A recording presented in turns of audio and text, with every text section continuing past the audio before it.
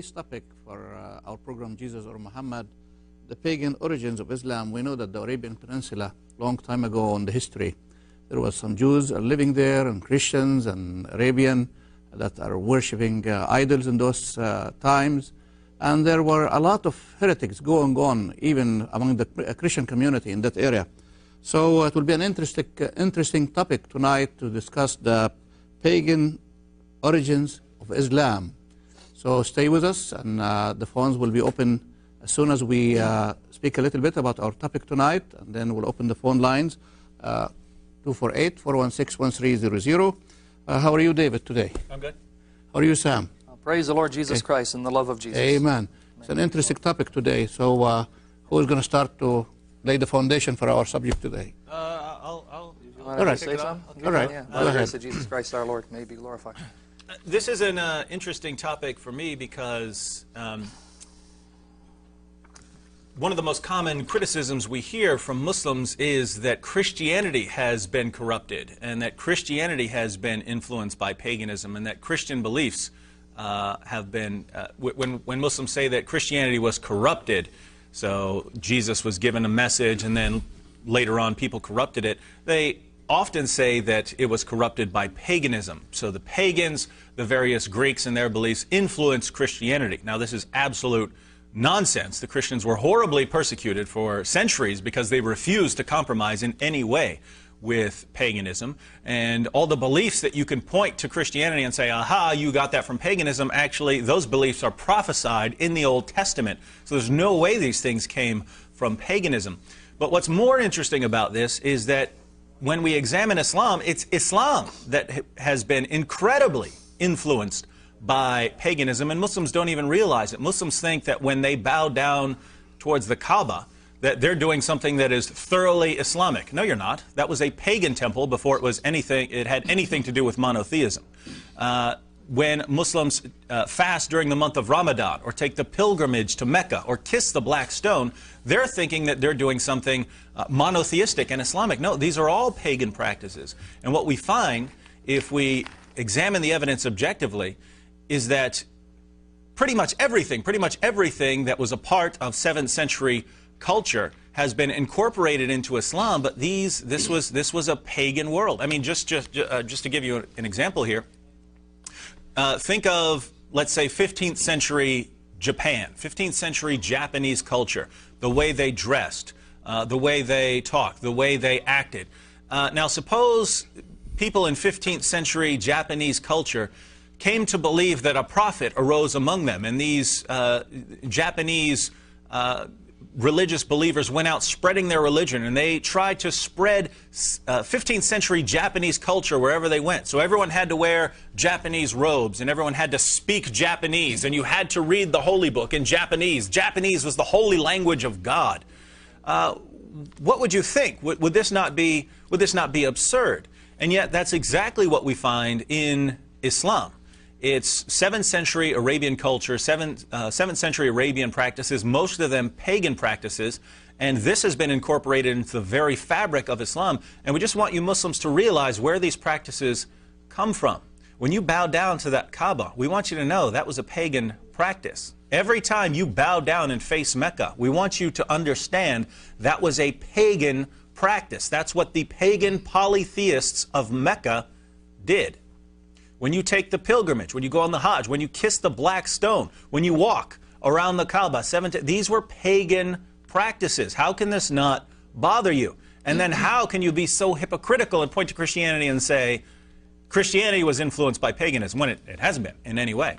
So this is what we want to lay out today, but don't take our word for it when we say that Islam has been influenced by paganism. We'll show you from your own sources. We'll show you from history that Islam has been influenced by paganism. So, Sam, you want to uh, give them some Do we have evidence? time or do we have a call? Yes, yeah, no. All right. No, well, gotta set it up. okay. We just want to let the people understand what we're Yeah, the trying topic to do about tonight, tonight. Yes. Um, uh, people who've been watching the sh- uh, show know it's my habit just to invoke uh, the God and Father of our Lord and Savior Jesus Christ. I pray that the Father of the Lord Jesus will just clothe us with His love, with His presence, with His Holy Spirit. And I pray that for all of us. And I pray in Jesus' name that the Father enables us to speak the truth clearly and passionately without compromise but to do it in a spirit of love. His love for the Muslims flowing through us so that Muslims will know, although that we're discussing tough issues, our intention is not to attack you or to degrade you or humiliate you or debase you. That's what the Quran commands you to do to us. The reason why we are criticizing Islam uh, is because we love you enough that we want you to know the truth so that you can fall in love with Jesus Christ. Come to know Jesus and be washed in His blood and born of His Spirit, the Spirit of His Father, so that you can receive eternal life as a free gift because of what Jesus did. And I pray that the Lord Jesus, the Son of God, will enable us to accomplish that uh, task, glorifying Him and winning Muslims uh, for His Lordship. I pray in Jesus' name. With that said, uh, I just want to read some narratives, uh, traditions attributed to Muhammad, traditions that are deemed to be authentic uh, without dispute. Uh, Brother David said that the Kaaba is a pagan shrine. it's a, a, pagan temple. In fact, the hadiths say that during the lifetime of Muhammad, there were at least 360 idols that were found in this pagan shrine. 360 idols of the pagans that worshipped at at the shrine in honor of these gods. Now let me read the narration. This comes from Sahih Bukhari. Sahih Bukhari, deemed to be the most authentic collection of narrations, beyond any dispute. Uh, volume 6, book 60, number 244. Now Muslims, please pay attention to what I'm about to read and the implications that I'm going to draw from these narratives. Narrated Abdullah ibn Masud, volume 6, book 60, number 244. Narrated Abdullah ibn Masud. Allah's apostle entered Mecca in the year of conquest, the year he conquered Mecca, and there were 360 idols around the Kaaba. Here it says around the Kaaba, the pagan shrine. He then started hitting them with the stick in his hand and said, Truth, i.e. Islam, has come, and falsehood, disbelief, has vanished, meaning the falsehood of paganism. As we will see, Islam retains much of its, uh, uh, much of the pagan practices of those who were living there before the time of Muhammad and during his time. Truly, falsehood is ever bound to vanish. Truth has come and falsehood cannot create anything. So according to this narration, when Muhammad conquered Mecca, there were at least 360 idols surrounding the Kaaba. Now why is that significant? that means prior to the time, prior to that moment when Muhammad eradicated these idols, Muhammad was steeped in paganism. Remember, according to Muslim sources, uh, he belonged to the Quraysh tribe. The Quraysh tribe were pagans, even admitted by Muslim sources, and they worshipped these 360 idols. And what's interesting is that according to the sources, when Muhammad supposedly received revelation from Jibril, Gabriel, this took place during the month of Ramadan. According to Sahih Bukhari, volume 1, number 3, Muhammad, it was his custom that during the month of Ramadan would go to the Hira caves the Hira Mountains in, in, in Arabia, and he would meditate. And during this time of meditation and contemplation, the Spirit came, and the Spirit later identified himself as uh, Gabriel. Now, why is that? Uh, why is that important? Because that tells you that even the fasting month of Ramadan was something being observed by the Arabs long before Muhammad claimed to be a prophet. So I want the Muslims to understand the implication of these statements and these sources. Muhammad, before he claimed to be a prophet, was observing the month of Ramadan. In fact, it was during this month that Gabriel supposedly came to, uh, to Muhammad. So the fast of Ramadan was a pagan fast.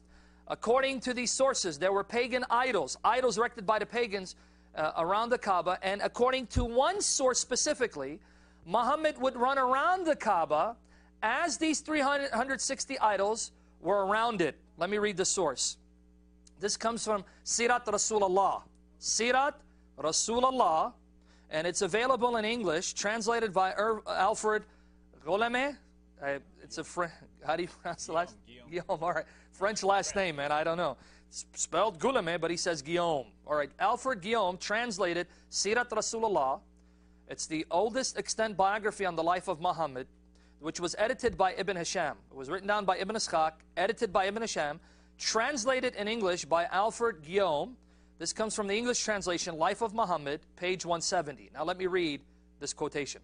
When the apostle of God had finished his period of seclusion, when he would go to the Hira caves and meditate during the, the month of Ramadan, the fasting month that Muslims till this day observe, he returned to Mecca. In the first place, he performed the circum, uh, circumambulation of the Kaaba, the running around the Kaaba that the Muslims do till this day when they perform Hajj or Umrah, as was his wont, meaning his practice. While he was doing it, Waraka met him and said, O son of my brother, tell me what thou hast seen and heard. Notice what this is saying that after his encounter with the spirit who identified himself as Gabriel, Muhammad returned to, to Mecca, ran around the Kaaba during the time in which there were still 360 idols. Now, why would the prophet of monotheism, the prophet who supposedly brought the strictest form of monotheism known, why would he observe the practice of running around the Kaaba when it was littered with idols? 360 to be exact. And we'll find that later on, when he went to Medina, he did it again. When he performed Umrah, he again ran around the Kaaba when the idols were still in place. Why is he observing such practices when this house is littered with idols, an abomination to the true God? Now, before I move on to my next point, do we, I have a question for okay, you guys. Uh, it's been said when Islam came, they cleaned the Kaaba from all of these uh, idols that was inside. that's what I just read. Yes. All right. And uh, the other one, from where this black stone came, it's a meteorite or it really came from heaven for Abraham to build a temple on it there? Can you elaborate on Want to say that? something about the Yes, um, as far as the Yes. the uh, cleansing of the Kaaba, uh, yes, Muhammad smashed the uh, the idols that were there, with the exception. And Jesus was there too. Oh, you mean the picture? I The know picture, you're about, yes, yeah. that's- He's talking about a portrait of Jesus yeah. and Yeah. Abraham. Go ahead. yes. Um, as far as the cleansing of the temple, though, it's it's very uh, it's very important to recognize that uh, originally Muslims prayed facing Jerusalem. Precisely. Uh, but Muhammad would visit the Kaaba. Muhammad would visit the Kaaba regularly, even as a Muslim, when, it wa- when he was a persecuted prophet in Mecca. So Muhammad is in Mecca. He has no control. There are still the 360 idols there. Muhammad visits this pagan shrine regularly and kisses the black stone. Interestingly, later on, when the Jews rejected Muhammad and they understood the Torah enough to realize that he's a false prophet, uh, Muhammad turned away from Jerusalem as, uh, as the direction that Muslims should pray to and turned facing the Kaaba in Mecca. So for several years, for several years, before Muslims conquer, before Muslims conquer Mecca and destroy the idols, Muslims are bowing down and facing a house of worship that is filled with 360 pagan idols. Now, just imagine this. The, the prophet of monotheism comes along and says, You want to know where we're going to pray to? We're going to pray facing those 360 pagan idols. Why would you do that? Because that was what the pagans did. That's what Muhammad had been raised to do. That's what the vast majority of his followers had been raised to do. They had been raised to bow down to these 360 idols. And they were very comfortable doing this. This seemed natural to them. Abu Bakr, all of the early, uh, all of the early uh, Muslim converts from Mecca uh, would have grown up bowing down to this pagan temple. And that's exactly what, what Muhammad did for a period of several years while it was still while it was still surrounded with pagan idols, Muslims are bowing down to it. Now, as far as uh, as far as the black stone, yes, this does seem to be some sort of meteorite. It's it's interesting to note that other places around the world, when when when a meteorite would fall to Earth, they would take this up as an object of veneration and worship. In ancient Ephesus, in ancient Ephes- uh, in ancient Ephesus, they were known to have a meteorite. They were known to have a meteorite, uh, which was which became an object of reverence and worship. I'm sure Sam can go into uh, more detail on, on actual sources on what we read about the black stone. Uh, but there's no question. There, Muslims, what are you doing? You're going to smash every idol except for this black stone, which was this was this was a pagan object. This is what the pagan. This fell from heaven for us. That's what the pagans believed. Other pagan groups in the ancient world believed the same thing about it. And interestingly enough, even the early Muslims recognized that there was something very, very wrong about this. Umar, the second rightly guided caliph, said to the black stone, he said, "I- I- You can't do anything. If, I would never, ever, ever, ever, ever kiss this black stone, this object of paganism, but for the fact that I saw Muhammad doing it. So early Muslims, even the rightly guided, one of the rightly guided caliphs, recognize this object is associated with paganism. There's no way I'm going to go over there and kiss it the way the pagans are doing it. I'm not going to adopt this pagan practice But I have to, because according to Surah 33:21, Muhammad is the example that all Muslims should follow. Therefore, if Muhammad is kissing this uh, object of pagan idolatry, just the way the pagans were doing, then I'm going to do it too. And Muslims to this day, when they when they when they visit Mecca, will do everything everything they can to get close enough to the black stone to kiss it. Why? Because Muhammad did. Why did Muhammad do it? Because he grew up in the Quraysh tribe, and that was what they did. That's what the pagans of Mecca did. This seemed very natural to them, and now it's a part of Islam. So, again, what you, Muslims, what, what do you do? What do you do when you're pointing a finger at Christianity, saying it's been corrupted by paganism, and it hasn't? And yet, when we turn to your religion and we look at almost every single practice you have, almost every single practice in your religion comes directly from the pagans. How can this not bother you? How, how can this not bother you? If I had a practice that was part of my religion and I immediately saw, oh, wait a minute, this was a pagan practice that was adopted by someone in my religion, I would be horrified. I would be horrified. And in Islam, it's not just one, it's not two, it's not three, it's not four, it's not five. It's almost everything you do as part of your religion was a pagan practice or a pagan belief. How can this not bother you? I don't know. Okay, I have another uh, question. It, it could be a kind of compromise with Muhammad and the tribe of Quraysh to make that reconciliation that they kept the Kaaba and if there is anything has to do with the moon or the crescent that there was people are worshipping that uh, god of the moon or those eras. Uh, before we get into the moon, uh, the moon god, whether Allah was a moon god, uh, I just want to understand your question. Are you asking that Muhammad compromise with them? no, yes, uh, Is what he's asking? because he made a reconciliation with his tribe when he came back and they Yeah, when he conquered this them? big sheet and they uh, tried to uh, maybe he said okay I'm gonna keep this Kaaba but let's clean it up and Yeah, I, I don't think Clean it's it for the new. God. I wouldn't. I, I wouldn't. I don't think he did Mm-hmm. it because he was trying to compromise with Oh, them. Because man, I gotta, well, we're gonna have a debate on screen here.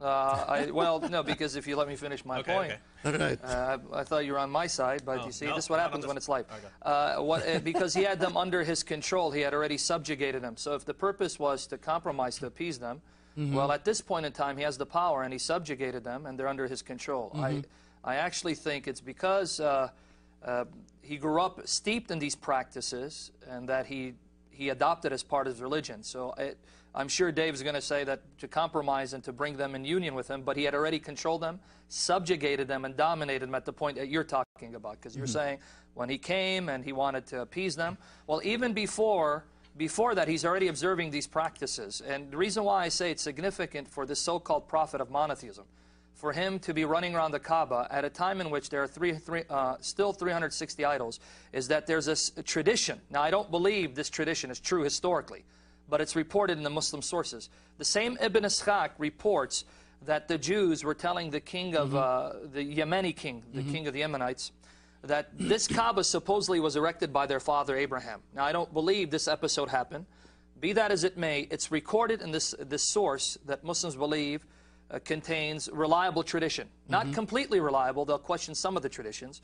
But I want to read the part that's significant in showing that the Jews, uh, if this is a true report, that the Jews more more conscious of the worship of the one God than Muhammad himself. And here's why. I'm just going to read it so you can see why it's so significant that what Muhammad did was a violation of monotheism. Because Muslims keep saying that Islam is the purest form of monotheism and worship sh- should be uh, should be given to Allah alone. You shouldn't mix it with paganism. But let's see what the Jews told, or supposedly told, the Yemeni king. Let me read this. This comes from the Life of Muhammad, translation of Sirat Rasulullah. And in the English translation, it's pages 8 to 9. It says, They, the rabbis, uh, uh, told that the sole object of the tribe was to destroy him and his army, talking about the tribe and, in Mecca. We know of no other temple in the land, this is the Jew supposedly saying this, which God has chosen for himself. Uh, that's said they, and if you do what they suggest, you and all your men will perish. The king asked them what he should do when he got there, and they told him to do what the people of Mecca did circum, uh, circumambulate the temple, run around the temple, to venerate and honor it, to shave his head, and to behave with all humility until he had left its precincts. Then the king asked, and a very smart uh, question, by the way. The king asked why they didn't do likewise. Okay, the Jews are telling the king, when you get to Mecca, don't destroy it. Run around the Kaaba, you know, honor its customs because this is a house of God, supposedly. So then the king asked these Jews, okay, then why don't you do it? If you believe this is the house of God, It was erected by your father Abraham. How come you don't go there and honor the customs and run around it? Now, notice the response given by the Jews. They replied that it was indeed the temple of their father Abraham, but the idols which the inhabitants had set up around it and the blood which they shed there presented an insuperable obstacle. They are unclean polytheists, they said, or words to that effect. The Jews refused to run around the Kaaba because there were idols still at the Kaaba at this time. And yet, I just read a tradition that said Muhammad ran around the Kaaba when there were still 360 idols around it. So, how can you say that Muhammad brought the purest form of monotheism when we see that early in his career he had no reticence running around the Kaaba littered with idols? So again, and then maybe Dave, you want to comment on what he was Yes, saying, on, his question. Uh, I wanted to comment on the, the compromise. Actually, Sam and I aren't, aren't too much in disagreement. We're thinking of compromise in two different senses. That's right. Uh, Sam was thinking of compromise as, uh, hey, I want to make a compromise with these guys to, to end this dispute between us. I was thinking of, of compromise just in the sense that uh, Muhammad had a desire, a deep down desire, uh, to win these people over, and that this influenced the revelations that he was uh, that he was uh, re- he believed he was receiving from God. Because we know, if we know anything about Muhammad, we know that he was influenced by his desires. When he wanted more than four wives, he got a revelation saying it could have more than four wives. When he wanted to s- uh, sleep with his slave girl, and he gave an oath to his wives saying that he wouldn't sleep with his slave girl, he got a revelation from God telling him, "Go ahead, you can, uh, you can, uh, you can violate this oath to your own wives." When uh, Muhammad wanted the wife of his own adopted son, he got a revelation saying, "Okay, you can have her." Over and over and over again, Muhammad had a desire and then this desire would be satisfied by a revelation. And in the next program, we're going to be talking about something uh, uh, that's even more closely related with the satanic verses. The entire uh, uh, the, the source of the satanic verses is that Muhammad desired that the pagans of Mecca, specifically the Quraysh, would join his religion, would submit to Islam. And he longed for a revelation from God that would bring these people to Islam. And then he got the revelation that would do this. It was a revelation promoting, promoting the gods of, uh, of, of the pagans, Al-Lat, Al-Uzza, and Manat. So Muhammad desired recol- reconciliation with his people so much that it affected the revelations he was getting. So later on, when Muhammad is praying towards Jerusalem and this is offending his uh, pagan kinsmen, uh, it's not difficult to see how this person who wants reconciliation with these pagan kinsmen who are offended that he's praying towards Jerusalem would say, oh, actually, no, God has changed the direction of prayer, and now we are to pray facing the Kaaba, just like all you pagans whom I was offending by facing Jerusalem. So it's not that Muhammad sits down and says, all right, what can I do? Uh, what can I do here? How can I, how can I make things right between us, and how can I make this less difficult for them? It's that Muhammad has a desire for reconciliation with them, and Muhammad's desires, as we know from all the Muslim sources, Muhammad's desires often, often uh, uh, influence his revelations. And if that offends you, if you think I'm wrong, uh, I would just invite you to, uh, to, to trust Aisha. If you don't trust me, surely, if you're at least a Sunni Muslim, you would trust Aisha, the source of so many narrations about Muhammad, who said, after Muhammad received one of these revelations that satisfied his desires, uh, Aisha said, My, your Lord hastens to satisfy your wishes and desires. Aisha noticed this over a period of years, that every time Muhammad wants something, a revelation comes down saying, Oh, of course you can have that, Muhammad. Uh, you want you want the wife of your own adopted son? No problem. You get her. Uh, you want more wives than, than you told everyone else they're allowed to have? No problem. You, you get them. Anything you want, Muhammad, you get. And when we when we understand that Muhammad's, uh, according to Aisha, not according to me, according to Aisha, uh, Muhammad's revelations were influenced by his desires.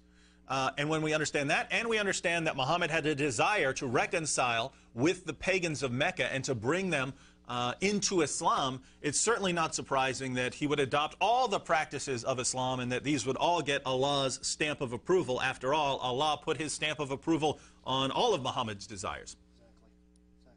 All right, uh, I have another question for you guys till we get the phone calls All right. working here. Uh, Christianity, we would like to be connected to Abraham. The Judaism, we are the sons of Abraham. And Islam says, yes, also we are the sons of Abraham. And uh, is there is any documentary that says that Abraham went to the Arabian Peninsula and this was the place that God told him to, to build a temple for his son there in that area, the Kaaba area? No. The short no, answer is no. no. No, no, not, Absolutely not no a shred. pre-Islamic evidence. No, All right. none whatsoever. If you, Yeah, uh, and and you know th- this is this is something that, that's very interesting according to uh, according to what Muslims believe and what Muslims tell us.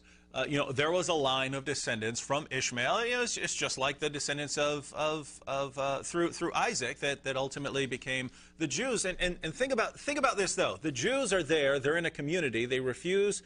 Uh, to compromise with paganism. Whenever they do compromise with paganism, God punishes them until they come back immediately to belief in the one true God. God is always in a clear relationship with the Jews, and ultimately the Messiah comes uh, comes to the Jews. So there's always a link. They have the genealogies. They can always trace who's related to whom, who goes back uh, to Abraham, and so on.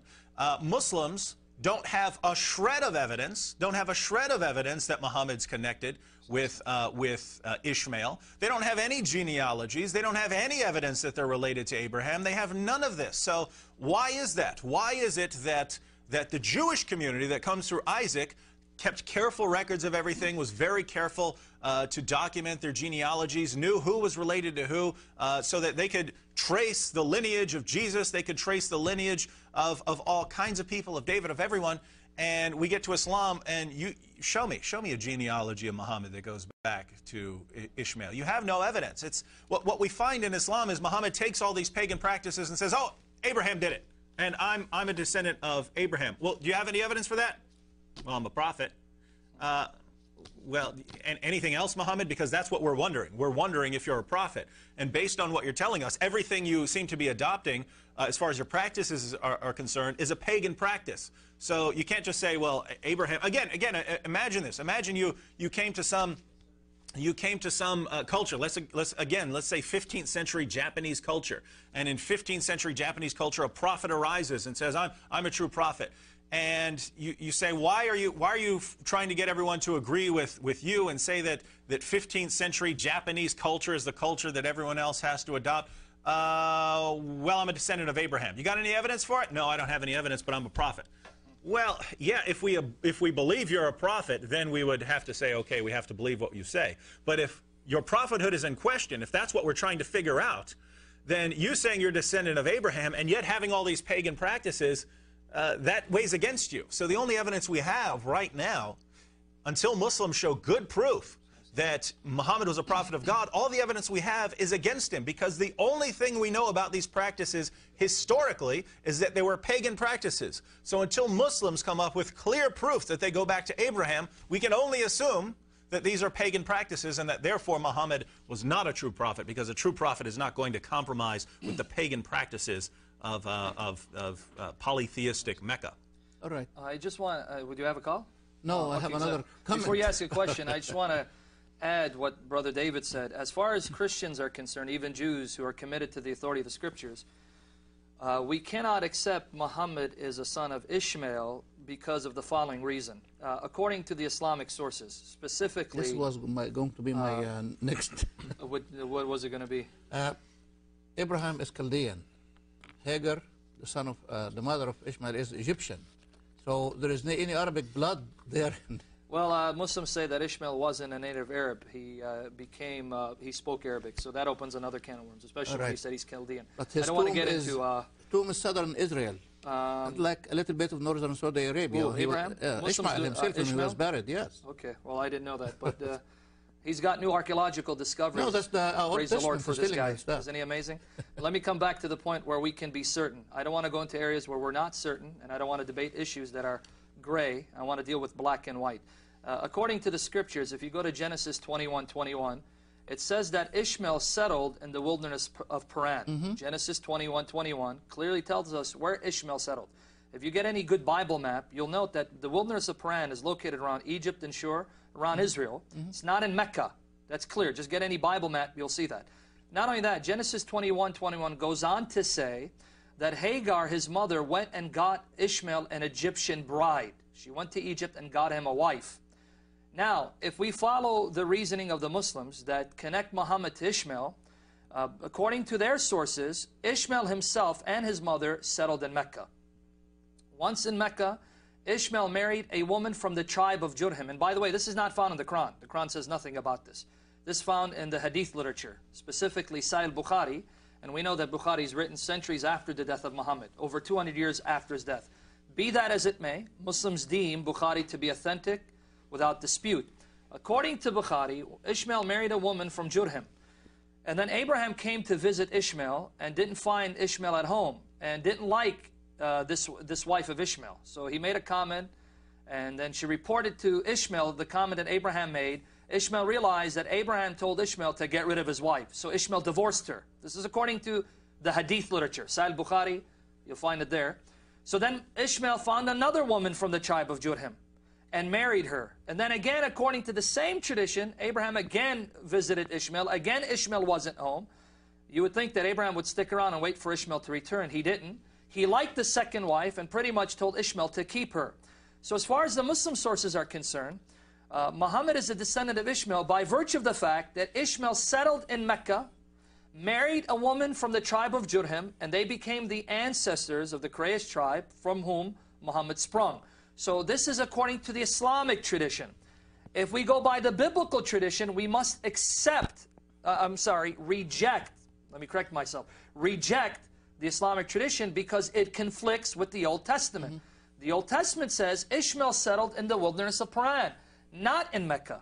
The Old Testament says that Ishmael's wife was an Egyptian, not from the tribe of Jurhim. Now again, someone will say, but see, your Bible's corrupt. The Muslim will say this and we don't go by the Bible. We only accept those parts of the Bible that agree with the Quran and the authentic traditions attributed to Muhammad. However, you have a problem, Muslims, and here's the problem.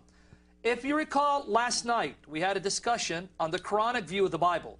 We only gave some of the men, uh, pl uh, plenty of verses, some of the many verses from the Quran, which uh, shows that the author of the Quran and Muhammad believed that our Old, Old Testament and New Testament were the revealed words of God. In fact, according to the Quran, Jesus confirmed the Torah in his possession, as did Muhammad.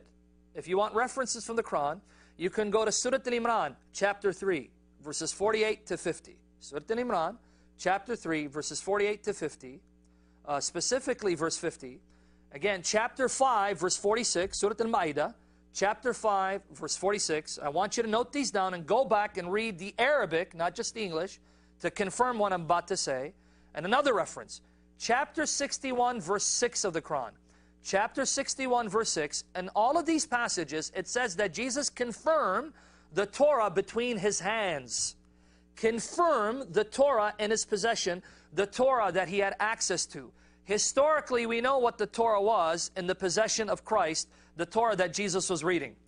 Due to discoveries and manuscripts such as the Dead Sea Scrolls, the only Old Testament that Jesus would have been reading and confirming to be the words of God is the very Old Testament that we read today.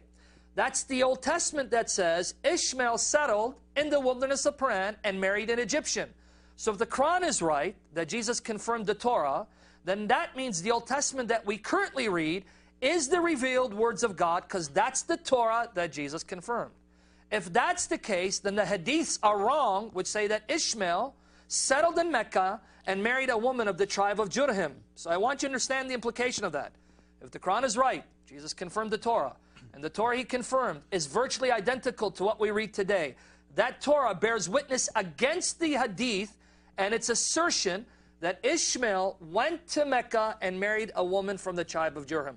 Because the Torah says he settled in the wilderness of Paran, that's not Mecca, and married an Egyptian. So you have absolutely no evidence that Ishmael and Abraham went to Mecca and built the Kaaba. There is no evidence from the Bible. The evidence from the Bible refutes this assertion. There is no pre-Islamic archaeological or historical documentation that says that Abraham Ishmael settled there. You only have the testimony of one man, and this testimony comes from a source written over 200 years after his death. And you want us to reject the testimony of the Bible and believe the testimony of such sources. And so uh, what, what Sam has uh, given us is another Islamic dilemma. Yesterday, Sam gave us an Islamic dilemma. In our next program, we're going to see an Islamic dilemma. And he's given us one now where either way you go, there's only two ways to go, and either way you go, you're in trouble. So, the Bible says that, uh, that uh, uh, the Bible tells us where Ishmael went, and it's very different from the Muslim picture. Uh, according to this, Abraham and Ishmael had nothing to do with the Kaaba in Mecca or with any of these uh, with any of these places. So what we have is uh, if if the Bible's right, if the Bible's right, then these are all pagan practices. None of them go back to Abraham. None of them go back to Ishmael. They're purely pagan practices. So if the Bible's right, as the Quran says it is, and don't forget Muhammad himself put his hand on a copy of the Torah and swore that it's the Word of God. So if Muhammad's right that the Bible's the Word of God, and if the Quran is right that the Bible's the Word of God, then Islam is a collection of pagan practices because that's what the Bible says. On the other hand, if the Bible's been corrupted in what it says about Abraham and Ishmael and, and, and, and, and what they did, if these are wrong, then the Bible isn't the Word of God, in which case the Quran and Muhammad are wrong. And Islam is a false religion. So, notice, if the Bible's right, then Islam's a false religion because it's just a collection of pagan practices. Uh, but if the Bible's wrong, then Islam, once again, is false because uh, Muhammad and the Quran were wrong when it says the Bible's the Word of God. Either way, Islam is false. Uh, how can you Muslims deal with this? We gave you a, a, uh, we gave you an argument like this yesterday. We gave you another argument today. We'll give you another argument uh, later on this evening. Over and over again, we see Muslims have only one of two directions they could go, and either one means that Islam is false. Thank you. Uh, let's take a break, and we'll be back. Uh, stay with us.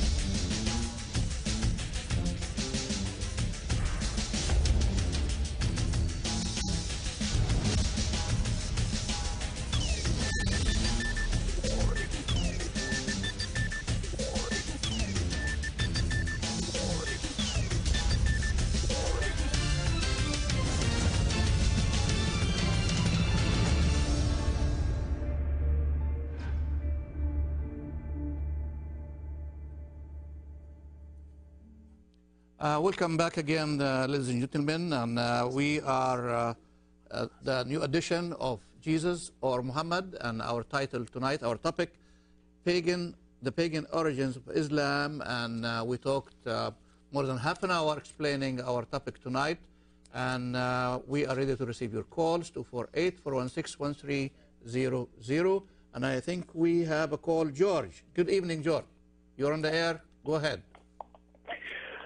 Good evening. Yes. Uh, God bless everybody. Thank you. Uh, what a coincidence, you know, you're talking about this subject, and uh, I'm reading a book by the name of The Sword of the Prophet of Islam by Serge Trifkovic. Oh, yeah. Mm-hmm. Uh, in this book, they, he said that Ishmael never went to Mecca. Exactly. Ishmael went only to Egypt, and he got married, and he got two sons. Uh, I don't know about two sons. He had 12 sons, but go ahead. I think uh, uh, probably he got married the first time he got two sons. One of them, one of these two sons, anyway. It's not for sure because this guy here, uh, he he went to the Middle East and he tried to get as much information as he can. But one of these sons, he went to Mecca. Uh, the book I'm reading right now says that I was looking at that 490 after Jesus, uh, there is a prince became the prince of Mecca. His name Qusay ibn Kalb, and this guy here he became the prince of Mecca and he was uh, the chief tribe of Quraysh. And uh, it was Mecca, it was uh, the Kaaba over there, and he was as ritual every year before uh, they go to Al Hajj, what they call, he was washing the Kaaba. And some sources they said that the black stone, uh, probably some of the Arab tribes, they went to Damascus for trade they brought that uh, black stone from an area which is south of Damascus. And if you go by yourself over there, you're not going to find nothing but black, uh, black rocks. So 490 after Jesus, it was Kaaba. It was a tradition of Hajj over there. It was a Ramadan fasting. They used to fast for a whole month, you know, before Islam came. And as we know, Muhammad born 570 and he died 620, 632. So 490 to uh, to 570. It's about 70 years before Muhammad. Uh, there was fasting Ramadan and there was doing the uh, paganism uh, tradition. So uh, I would like you to emphasize on this subject that whatever tradition the Islam have, it's not from Islam uh, themselves. It's a tradition it was in the Arabia before Islam came. And thank you. Thank you. You want to comment on that or take the You next call? come? Okay, let me. I wanted to read some reference on the black stone he just said. I had said earlier that these are pagan practices, and let me just elaborate. Uh, and these these are things that even Muslims will admit. But what they will say is that these were practices instituted by Ishmael, and that the descendants of Ishmael then perverted these practices by worshiping other gods. In other words, they'll tell you yes, the pagans before Muhammad ran around the Kaaba seven times. They would run between the hills of Safa and Marwa uh, seven times. In fact, according to one tradition, Muhammad's companions hesitated to run between these two hills because initially there used to be two idols, and they would run between the two hills in honor of these idols. Uh, but Muhammad said, no, that's okay, you can keep that practice. And the justification is that these were practices instituted by Ishmael, as well as Abraham, that later on, throughout history, the descendants of Ishmael perverted. Uh, so they'll tell you, yeah, these practices, the pagans performed them.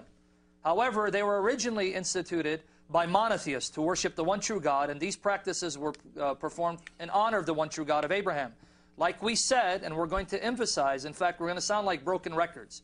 There is absolutely no biblical, historical, or archaeological proof. Specifically, there is no pre Islamic proof that a Muslim can point to to show that Abraham Ishmael ever went to Mecca. Uh, but I just want to comment on, on uh, the things that Muhammad did, which prove that the God that sent him is not the same God that raised up Abraham and sent Moses with the law. This again comes uh, from an Islamic source. This comes from the history of Al-Tabari. Uh, history of Al-Tabari, which you can actually find in English. This comes from volume 6. And he, he, he mentions an event that while Muhammad was in Mecca, after he claimed to be, to be a prophet of God, after he claimed that Gabriel came and commissioned him, he was running around the Kaaba and kissed the black stone. And I want to read that reference because this kissing of the black stone is sheer idolatry. It is proof that Muhammad was not worshiping the God of Abraham and that the God of Moses did not send Muhammad, had nothing to do with him. But let me read the reference. And I know I think we have other callers, but I think it's important I read this. This comes from the History of Al-Tabari, uh, volume 6, and uh, pages 98 and following. Uh, actually, it's pages 101 to 102. I apologize. Let me read this. Uh, Ibn Humayd, Salama Muhammad bin Ishaq, Yahya bin Urwa, bin al-Zubayr, his father, Ur Urwa, and then Abdullah ibn Amr bin al-As, I said to him, what was the worst attack you saw by Quraysh upon the messenger of God? When they openly showed their enmity to him. And this is from pages 101 all the way 102. I just want to get my references straight. And if I'm mistaken, I do apologize. Our intention is not to give you uh, misinformation. He replied, I was with them when their uh, nobles assembled one day in the Hijr and discussed the messenger of God. They said, we have never seen the like of what we have uh, endured from this man. Now these are the pagans complaining about the abuse of Muhammad. Muhammad constantly abusing them. We've never seen the like of what we have endured from this man. He has derided our traditional values, abused our forefathers. This is Muhammad, by the way. And what's interesting, Dave, is yesterday we got calls from Muslims saying, you shouldn't be criticizing other religions. You shouldn't be attacking other religions. Just, you know, practice your religion, talk about your own. Here we have an Islamic reference saying that Muhammad constantly attacked, derided, insulted other people's beliefs and values. Look at the reference again. He has derided our traditional values, abused our forefathers, reviled our religion, caused division among us, and insulted our gods. We have endured a great deal from him, or words to that effect. While they were saying this, now note this, this part. The messenger of Allah suddenly appeared and walked up and kissed the black stone. Then he passed by them while performing the circumambulation. Notice at the time where the Kaaba still has 360 idols. There are still, under, still 360 idols surrounding it. Muhammad is running around kissing the black stone during the time where the Kaaba is still in the possession of the pagans. Now, how does this prove that he's not a prophet of the true God of Abraham, Isaac, and Jack, uh, Jacob, or Moses? Well, according to the scriptures, God expressly forbids. This is in Exodus chapter 20, verses 1 to 5. Read it. Exodus 20, verses 1 to 5. God expressly forbid, forbids making an image of anything in heaven, on earth, and the seas below, bowing to it. In another reference, we see that bowing to an object and kissing it is worship. 1 Kings chapter 19, verse 18 says that God will preserve 7,000 Israelites, has preserved 7,000 Israelites who have not bowed the knee to Baal and kissed, kissed him, meaning his image. So kissing an object, an image, is an act of worship. So the God of Israel, the God of Abraham, Isaac, and Jacob, the God of Moses, expressly forbids his followers from making an image and kissing it and bowing to it. And yet here we have Muhammad, who is supposedly the prophet of monotheism, a prophet sent by the same God of Abraham, kissing a black stone at a time in which the Kaaba is still in the hands of the pagans, still surrounded with 360 idols, and yet Muslims want us to believe that he is a true prophet who comes and fulfills and completes the message of the prophets before him, uh, prophets like Moses, and so on and so forth. And it, it's, it's interesting, I mean, if you look at like the Old Testament prophets, many of them came during a time when Israel was compromising with paganism, and the purpose of God sending these prophets was to draw them out of that paganism back to the worship of the one true God. How, how can you say that Muhammad is in this same line? All of these prophets came to keep people away from paganism. Muhammad comes along and says, oh, all these pagan practices, that's okay. I'll just say they're all from Abraham, and that'll make all of these pagan practices okay. I mean, uh, a fake, a, false prophet of the Old Testament could have done that. If a false prophet came along and said, oh, you're, you're performing all these practices, you're bowing down to Baal, no problem. Abraham did that too. Any, any, any false prophet could come along and say all these pagan practices are okay. And that would, uh, that would help him a lot with the pagans. Uh, but he's, I mean, think about it. Every single prophet in the line of the prophets of Israel called people away from paganism. Muhammad compromised with almost every aspect of paganism. In fact, I can't think of, of too many instances uh, uh, uh, practices or beliefs of the pagans that Muhammad didn't compromise with. You say, well, Muhammad was a diehard monotheist. He even compromised with that, as we'll see on the next program yes. when we examine the satanic verses. Muhammad compromised with everything, with, every, with practically everything the pagans held. And this is a prophet like the Old Testament prophets? Come on, folks. All right, uh, we have another call from uh, Wissam. Good evening, Wissam. You're on the air. Go ahead. Wissam? Wissam is with us? Did we lose him? Can you hear me? Yes. yes. yes. How are you? You're in the air. Go ahead. Oh, uh, peace be with you. Um, Thank you. I just have a comment uh, regarding all the shows that you uh, uh been uh, airing like for a long time now. Okay. Um, um, uh, I'm really impressed with what you're doing, like Brother Sam and Brother Dave. like um, this is amazing. Like um, I bow to all the effort that been, you've been doing, but the problem is, like, none of the 1,000.5 billion Muslims know that what you're talking about. They don't know that, you know, and um, I just don't know how you can get the message to them. I mean, you're doing a great effort, and I appreciate that. It's just a the problem is how to get uh, the uh, the picture to these guys. And even sometimes I think that even if they get the picture or they see the picture, this, it seems like you know that Muhammad is their God. It's not Allah is their God. It's whatever Muhammad did, they do with effortless. Like it doesn't matter what it is. It's it's he's their idol. You know, it didn't matter if it's true or not they just do it. You know, something else I just want to say is um, we will have to think about something else. I mean, uh, God bless you, bless your show. It's amazing, it's awesome. Like I said, I I don't know what it is. You might think about something else, but um, we have to have something else. We have to have another idea to bring um, these people to understand, like uh, where are they going, or why are they thinking this way, or is it? Um, I, I have just an example. If you let me speak for a little bit longer, um, we like back home, if we tie a donkey uh, with the front hand and the uh, uh, like uh, the uh, uh, the uh, his leg, like for uh, like for two weeks or three weeks, um, they would uh, like uh, uh, and would take it off after three weeks. Uh, the donkey would still think that he's still tied up, you know, after we take it off, you know. And these people has been tied up for a thousand four hundred years. I, I don't know, like how, uh, like in a in a one year or five years or ten years, how we can uh, uh, like make them like like uh, get this thing off of them. Um, anyway, uh, like just to make a conversation like uh, a little bit shorter, um, and uh, uh, about like uh, peace and Islam.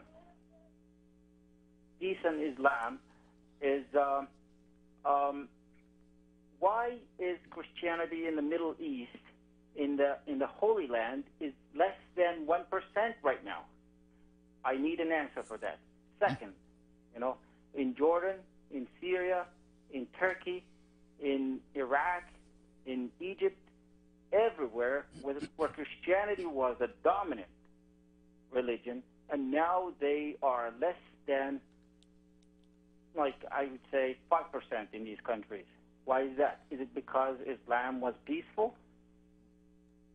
And I need like an answer on that. And on top of everything, in the Holy Land, like I said, it's less than 1%. There's churches in the Holy Land that just exist in a town full of Muslims. Thank you very much, uh, Wissam, for your uh, question. Uh, uh, let me take another call. Uh, who is with me? Next call, please. Uh, okay. My name is Vasily. Can you hear me? Uh, what's your name, please? Vasily. Vasily, how are you, Vasily? Uh, go ahead. Okay, thank you very much for taking my call. You're welcome. Uh, thank you, brothers, for your uh, program. I uh, I'm really glad to see you all the time. Uh, I am Ukrainian, and uh, I was born in a Christian family, but from the beginning, I was looking for the for the truth myself, and I read many religions, and one of them was uh, Islam. And uh, I try re- read a few times Quran, and that was really hard for me. I cannot see there any connections, logic, and sense. And I I had uh, many Muslim friends, and I, I I asked them for explanation, but none of them uh, can explain ex- explain me Quran. And until today, when I see your program, I I began to understand many things. Good. But I have two questions. One about uh, Muhammad. Uh, can you find did did uh, Muhammad uh, had prediction about his life, ministry, mission, everything like Jesus? Jesus was predicted from the beginning, very beginning. What about Muhammad? Uh, where he was predicted, through him, uh, through through whom, and for for whom? What what nation was waiting for him? And next, my question for the Allah. That I ask many times Muslim. Uh, Allah, Allah, one person, one, uh, one God, and He is just and He is merciful. But from my understanding, uh, in one person cannot exist two natures. Justice and forgiveness cannot belong one person. Because uh, if you just, you judge, you have to say Allah. How how how one person can can stay on law and at the same time uh, bring uh, forgiveness? That that's really mess. I cannot understand this. Can you explain for me how how forgiveness and Uh, justice be in one person? For me, that looks like black and, and white, and that's really simple for a simple person. That cannot be, be in, in, one, in one person. Thank you very much. Uh, Can you Thank explain you. for me these two, two my questions? If Thank you. All right. Yeah. Uh, we'll, we'll take these in reverse. We had two calls. Um, you, Allah is just and merciful. Uh, you, you, you said that th- this is a problem. Well, I'd say it is for Islam, but I don't think it's, it's a problem for a being to have uh, an attribute of justice and an attribute of love and mercy, because according to Christianity, God has these attributes. We believe, but we believe that God is infinitely just and that God is infinitely loving and merciful. And how can these not be in conflict? Well, uh, we're going to look at this a bit uh, tomorrow when we discuss the, the reason for the incarnation. Uh, but a just being, uh, a being that is infinitely just would have to punish all sin. Now, you're right in saying, uh, well, if a being has to punish sin, how can he also be merciful? Well, that is, that does seem to be a difficulty. If you're, you're saying there's a, there's a being who's infinitely just and infinitely loving and merciful, how can, how, how can he be both? If he forgives all sins, if he forgives people because he loves them, then he's not being just. On the other hand, if he punishes everyone for their sins, well, he's not being loving and merciful. And what we find is that if you claim that a God exists with those attributes, you have to have something like the incarnation and sacrificial death of the incarnate Lord. Why? Because if all sin must be punished, then at the end of time, all sin has to have been punished by God. All this sin must have been punished. But if that being truly loves people, he'll be doing he'll be willing to do anything uh, to forgive them. And what we find in Christianity is that God loved people so much that he willingly took the, pen, took the penalty uh, upon himself. So what we have is that all sin, for, in Christianity, at the end of time, every sin will be punished. If a person rejects God's love and forgiveness, then that person has to take the punishment himself. But for all of those who turn to God in repentance, God accepts that punishment on the Lord Jesus Christ. So all sin is punished, and yet God shows his infinite love and mercy by what he did for us. Now we turn to Islam. Muslims also say that Allah is just and merciful. But in Islam, there's a conflict between them, and what we find is that there's a struggle between uh, Allah's justice and His mercy. And if you're a good Muslim, His His mercy sort of trumps His justice, and so one of His attributes gets beaten by the other, and then He can uh, He can accept you into paradise. But what we also find in Islam is that Muslims reduce and diminish and insult God by saying that He's not infinite in His attributes. So think about Allah. According to Islam, at the end of time, has all sin been punished? No. Allah can just sweep your sin under the rug if He really likes you. Uh, so God is not all just because He does not punish all sin, but at the same time, Allah is not all loving and merciful either. Uh, over and over again in the Quran, we find Allah does not love the unbelievers. Allah does not love those who exceed the limits. Allah does not love the proud. Allah doesn't love all kinds of people. In fact, according to the Quran, Allah only loves good Muslims. Those are the only people that Allah loves. So what we find in what we find in Christianity is that God, since because He is infinite, is also infinite in His characteristics and attributes. But in Islam, uh, God's attributes are limited. So He's a little bit loving towards certain people, and He's a little bit uh, just because He punishes some sin. But this certainly isn't what we uh, what we find in Christianity. So I don't think it's a problem for a being to be uh, infinitely just and infinitely merciful, provided you show how those attributes uh, are both exercised in history. Uh, you said, were there any predictions about Muhammad? I, I uh, we talked a bit about this yesterday. There are predictions about Muhammad. According to the Bible, Jesus delivered uh, delivered a message to his followers. This is the gospel. It's a message that Jesus died on the cross for sins, that he rose from the dead, and that he claimed to be divine. This is the core of the gospel, these three things. We're also told in the New Testament that false prophets are going to come and they're going to try and corrupt and pervert and distort this message. Muhammad came along And he seemed to agree with Christians on a lot of things. You Christians believe in God, so do I. You believe Jesus performed miracles, so do I. You believe Jesus was born of a virgin, so do I. You believe Jesus the Messiah, so do I. There's only three things I want you to deny about Jesus. One, he didn't die on the cross. Uh, two, he didn't rise from the dead. And three, he didn't claim to be divine. Well, any Christian who knew anything about Christianity said, hey, we've been waiting for this. We were told this was going to happen. We've been waiting for you, Muhammad, because the Bible tells us that false prophets are going to come and are going to corrupt this message. Uh, so, one, the, certainly the Bible predicts the coming of false prophets who are going to corrupt the gospel.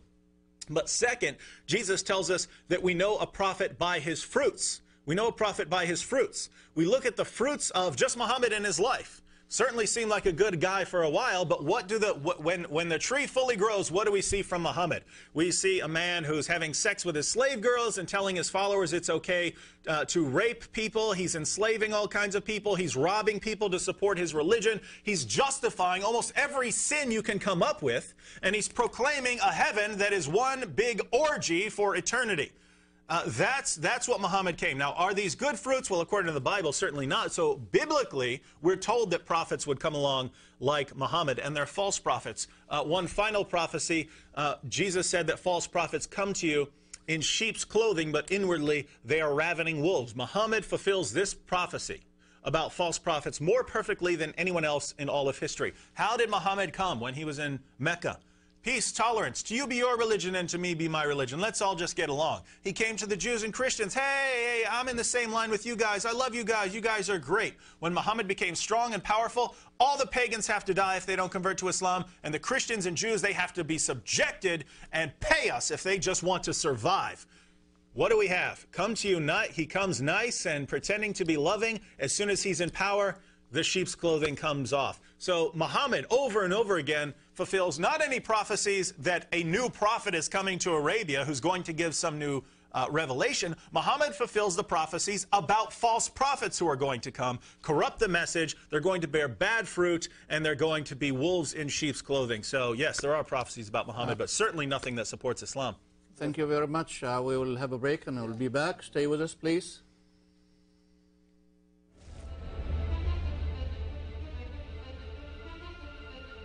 Origins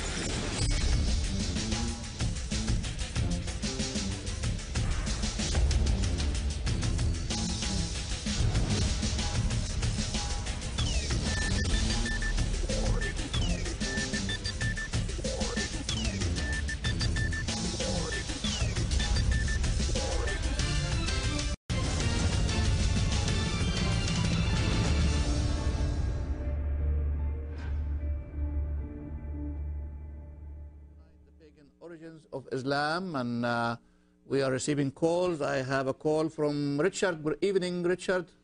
Go ahead. You're on air. May, may the peace of God be upon you and Thank you. run away from your ways, and God bless you for this show. Glory Thank to you. Jesus Christ, So I our God who lives. questions to ask.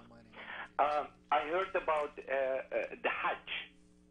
Uh, you know what Hajj in Yes. English is? Uh, uh, Pilgrimage. Yes. Yeah. whatever. Is it is it an old days? They said about it. Call it uh, was hack. It means scratch. A woman what? in old days they want they got they Haq they want means the truth. What did you say, uh, Richard? We can't hear you. Richard, Richard, where, uh, Say it again. I couldn't hear you. You said Hajj was called what? Um, uh, hack بخطالة سام بدان ايه على بيرخلو ما راني شي مشيت بيرخلو بيشغل طيب بخطالة شد أنا أنا جديلة أي حاج حاج please It- it's You know, Mumeru, we couldn't hear you. Hajj was used to be called Mu. okay, uh, they used to say because uh, one of the Christian show I was watching, and uh, the uh, the presenter he said about this subject particularly, I was stunned, and I I I, I, I, I couldn't believe. In old days, that women they used to go to Mecca in that particular stone, scratch themselves toward Yeah. that stone in order to get pregnant. Or to receive a And blessing, yes. After that, a man he came and uh, you know what, and uh, that's the presented Israeliyim sıptı soda. Yeah, I, I yeah. Bachat alatam. Uh, eh, Maria Berachlu. To me, please, and God bless. Lord Jesus bless you, Richard. Protect you from all evil men. Thank yeah, you. Praise the Lord. My Lord bless you all. I was talking about that it was custom before the time of Muhammad for women to go uh, to the Kaaba, specifically to the Black Stone and rub themselves against it, praying with the hopes that they get pregnant. Yes, and initially it was white, and it was over a period of years of being black, covered yeah. with. Uh, yeah, and interestingly, according to Islam, it was initially white and became black, and they say it became black because of people's sins. But uh, even according to non-Muslims, this stone was originally white, but it was because of women rubbing and people kissing and putting their mouths on it, and women putting their vaginas on it to bless their, their pregnancy. yeah. Um, that this over a period of over a period of centuries of being covered with human uh, secretions has just become black and, and tarnished, and this is what Muslims uh, long to kiss. They want to kiss this more than they want to kiss Yeah. their own children. And uh, in fact, even in the Hadith, it records that one of the reasons why Muhammad forced uh, the pagans who had uh, been subjugated, forced the pagans to convert to Islam or be killed, is because he got sick and tired of them running naked around the Kaaba. This is actually from Bukhari and other sources, that after he had conquered Mecca and said they were free uh, to continue to observe their uh, pagan practices, a year later, Muhammad changed his mind and said, you know what? Either you become Muslims or uh, you're going to get killed. And part of the reason why is because they're running around uh, naked around the Kaaba, and he got sick, sick and fed up with it. So yes, there is some truth to what you said, Richard, and the Lord bless you and watch over you, and keep praying for us to be successful in speaking the truth for the glory of Jesus Christ. All right, I have uh, Martin. Good evening. You're on the air. Go ahead. Hey, how you guys doing? Doing Praise fine. God. How are you? Excellent. I just want to start off by saying, God bless your ministry. God bless your methodology. You keep, you guys keep doing what you guys do. I, I definitely enjoy watching your show. Praise the Lord. Uh, I have, uh, you know, there's there's a something that I came across, and uh, if somebody could explain it to me. That'd be great. The when when I talk to Muslims, they say Allah is just a, another name for God. But when you read the English translation of the Quran, you know they don't translate the word Allah into God. Now, is there is there why why is it why do they not do that? Is it because of the name of their God is Allah? Yeah, that is his name. I can give you what some of the uh, common Muslim apologists say. Uh, one of the assertions you're going to hear by Muslim apologists such as Jamal Badawi and even um, Zay, uh, what's his name from India? The Zakir Muslim- Naik. Is that his name? Zakir Naik. Okay, I, get, I forget these apologists. There's so many of them. And again, I pray that the Lord Jesus Christ gives us the grace to speak truth and represent their views accurately. Uh, according to their assertion, Allah is a more appropriate name, not just because it is His name. This is His eternal name. That's what they'll tell you. But because, unlike the English word God, they'll tell you this is their assertion. Now, again, I'm going to refute that assertion and show this is wrong, and it's propaganda. Uh, it's because, unlike the English word God, Allah cannot be pluralized, nor can it be feminized. Like the English word God can be gods or goddesses. You can actually read Naik in one of his articles on his website stating this why Muslims feel more comfortable using the term Allah than, Engli- uh, than the English word God is because of those reasons. Allah can't be pluralized, there is no plural. You don't say Allahs, and there's no feminine form of Allah. However, that's nonsense and that's not true. There is a feminine form of Allah. It's Al-Lat. Al-Lat is the feminine form of Allah. And don't take my word for it. Read Tafsir Ibn Kathir. Ibn Kathir's commentary on the Quran, which you can find online in abridged form, translated in English, and you can read it for free. www.tafsir.com. T-A-F-S-I-R.com. There he goes into the origin of some of these terms, and he says that Al-Lat is actually the feminine form of Allah. He even claims, and by the way, this is going to be significant because in the second program, by the grace of the Lord Jesus, David Wood is going to be talking about the satanic verses, and the satanic verses uh, focuses on the daughters of Allah, Banat Allah, Al-Lat, Al-Uzza, Manat.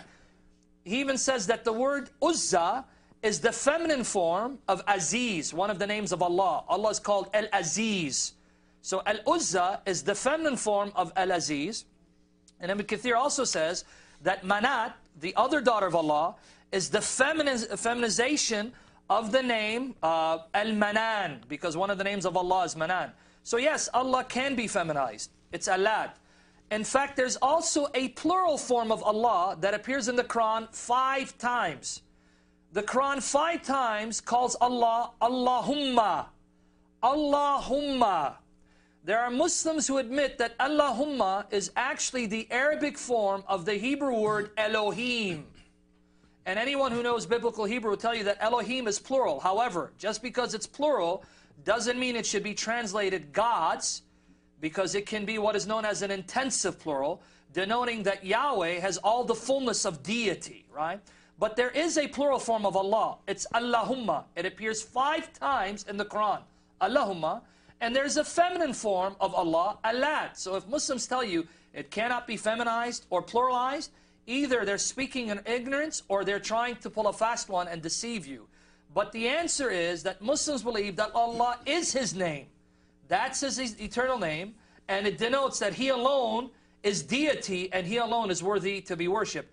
But from the biblical per uh, perspective, according to the Old Testament revelation, God's covenant name, His personal name, the name by which He wants His adherents to know Him, is Yahweh or Yahovah. And maybe David, you want to add something to this? Uh, yeah, I'll just add that this, this fits in perfectly what, with what we're saying. Uh, yes, the uh, people, even the pagans of Mecca during the time of Muhammad, believed in Allah. They believed in Allah uh, and a bunch of other uh, gods and goddesses. And what we find is that just as with everything else, whatever was true of 7th century pagan Arabia, that's what has to be true of Islam all around the world. Islam is an attempt to take 7th century Arabian culture and make it dominant over all the earth. But tell me, what does this have to do with worship of the one true God, especially when all these all these practices and uh, many of these beliefs are simply pagan in origin, and you're, telling me that the one true religion, the one true remaining religion on the planet, is an attempt to take 7th century Arabian culture and make it dominant all over the earth. This, this doesn't make sense to me. Please, please uh, call us in and, and explain it. All right, we have a call from uh, Omar. Good evening, Omar. How are you, Omar? Hey, uh, hey, David, and uh, hey, uh, Sam. This is Omar. and I was looking at your program, and I was hearing about. I'm a practicing Muslim, and I was hearing about what you were saying about our dear beloved Prophet Muhammad, peace and blessings be upon him. Yes. I think uh, I overheard, like, uh, from this program, I was skimming through it, listening to it, is that you were saying that he's a sex maniac or some sort of No. person No. like no. No, never, never said, said that. Never said it. You probably was listening to a different you, program. You keep bashing, you keep bashing his personality that he loved women and that's all he was about was sex. Okay, here, Omar, Omar, Omar, Omar, Omar. Listen, we, we, we want to have a dialogue with you. We want to have a, we want to have a dialogue with you. So, but but we'll have to we'll have to go back and forth. So let us just tell you what we have claimed, and then you can then you can respond to it.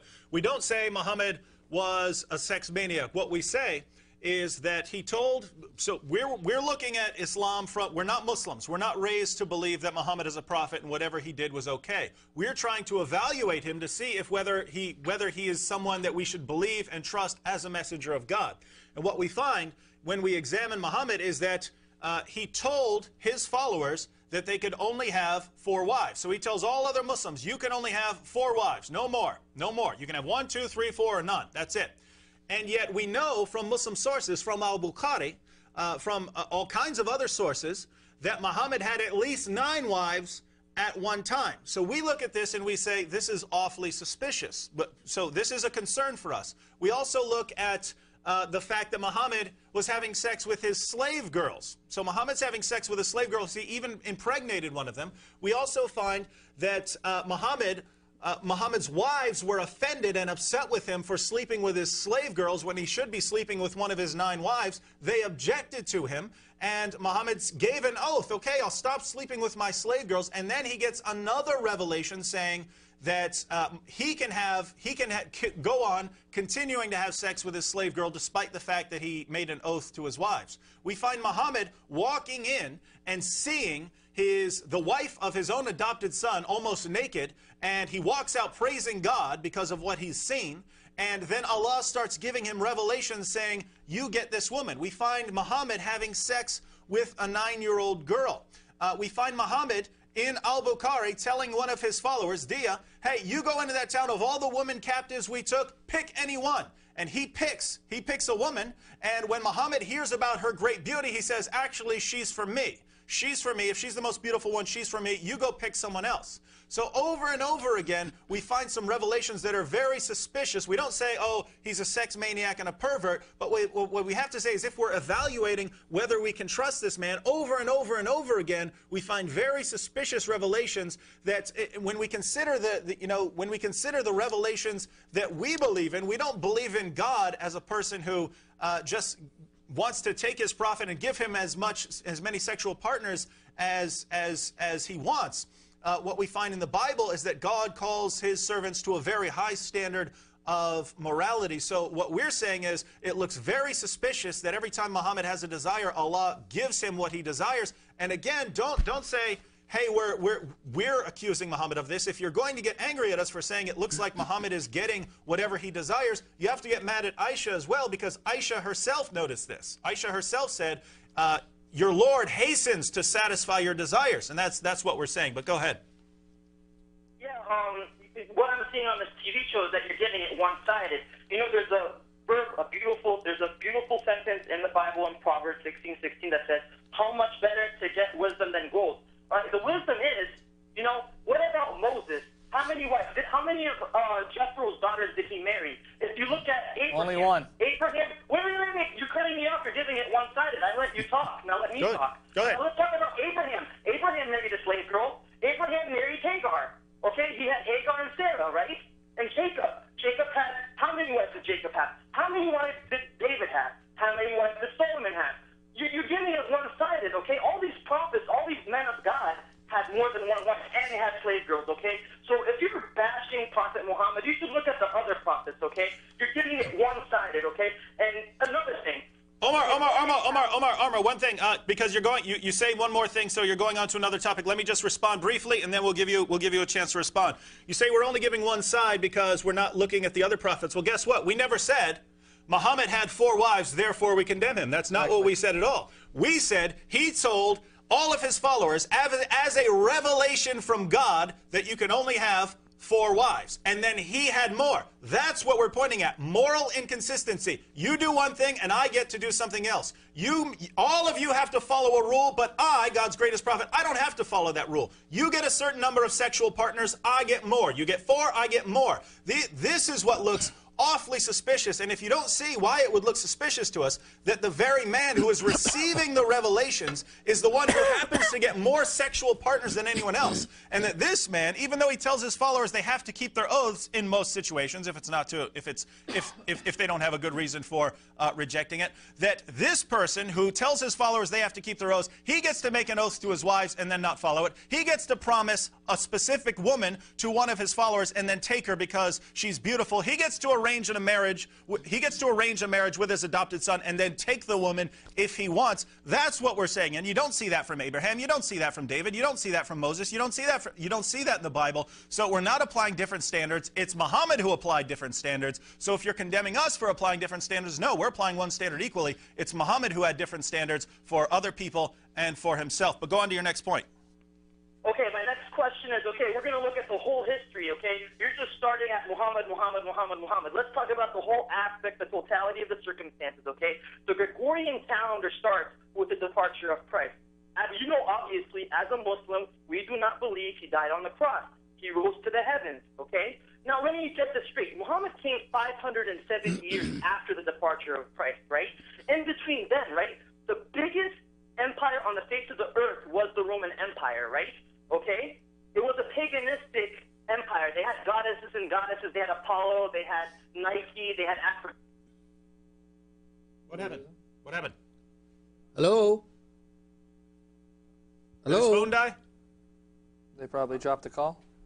Omar, Omar, if, if you're watching, get on a get on a better phone and call right back. We want to we want to hear this. Did you did we lose him? Yes, we lose him. Uh, Omar, Omar, Omar, call back and uh, in in the uh, in the phone booth. If if Omar calls back, please move him to the uh, front of the line. Okay. Right, you want to comment on his, uh, that the Roman Empire was No, we don't know paganistic? what Yeah, his we, we, point we, we, we don't we don't we don't know Yeah, what his point was. so- What, what we do what we here's uh, let me tell you what we what we do know. Uh, he's Uh, saying that you are claiming that uh, the uh, Arabic Peninsula were pagans. Uh, also, the Roman Empire was a pagan Yeah, empire. see, see, now, now, now let's clarify. If you want to say that some uh, practice of some festival that or, or holiday that Christians practice, so let, let's say Christmas. Uh, let's say, uh, you know, lots of Christian Omar is back. families will have uh, lots of Christian. Oh, okay. Well, let him. Is he on there? Omar, are you there? get cut off. you see, I knew I was going to get cut off, David. What, what, what are you talking about? If we wanted We to cut just told you to call back we just and give you to. Okay, let me start where I started about the Roman Empire, okay? Okay, go ahead. Mm-hmm. What was the last thing that I said online? Because I don't know, because my TV was off. All, all we got to was uh, uh, Romans believed in different gods and goddesses. Okay, yes.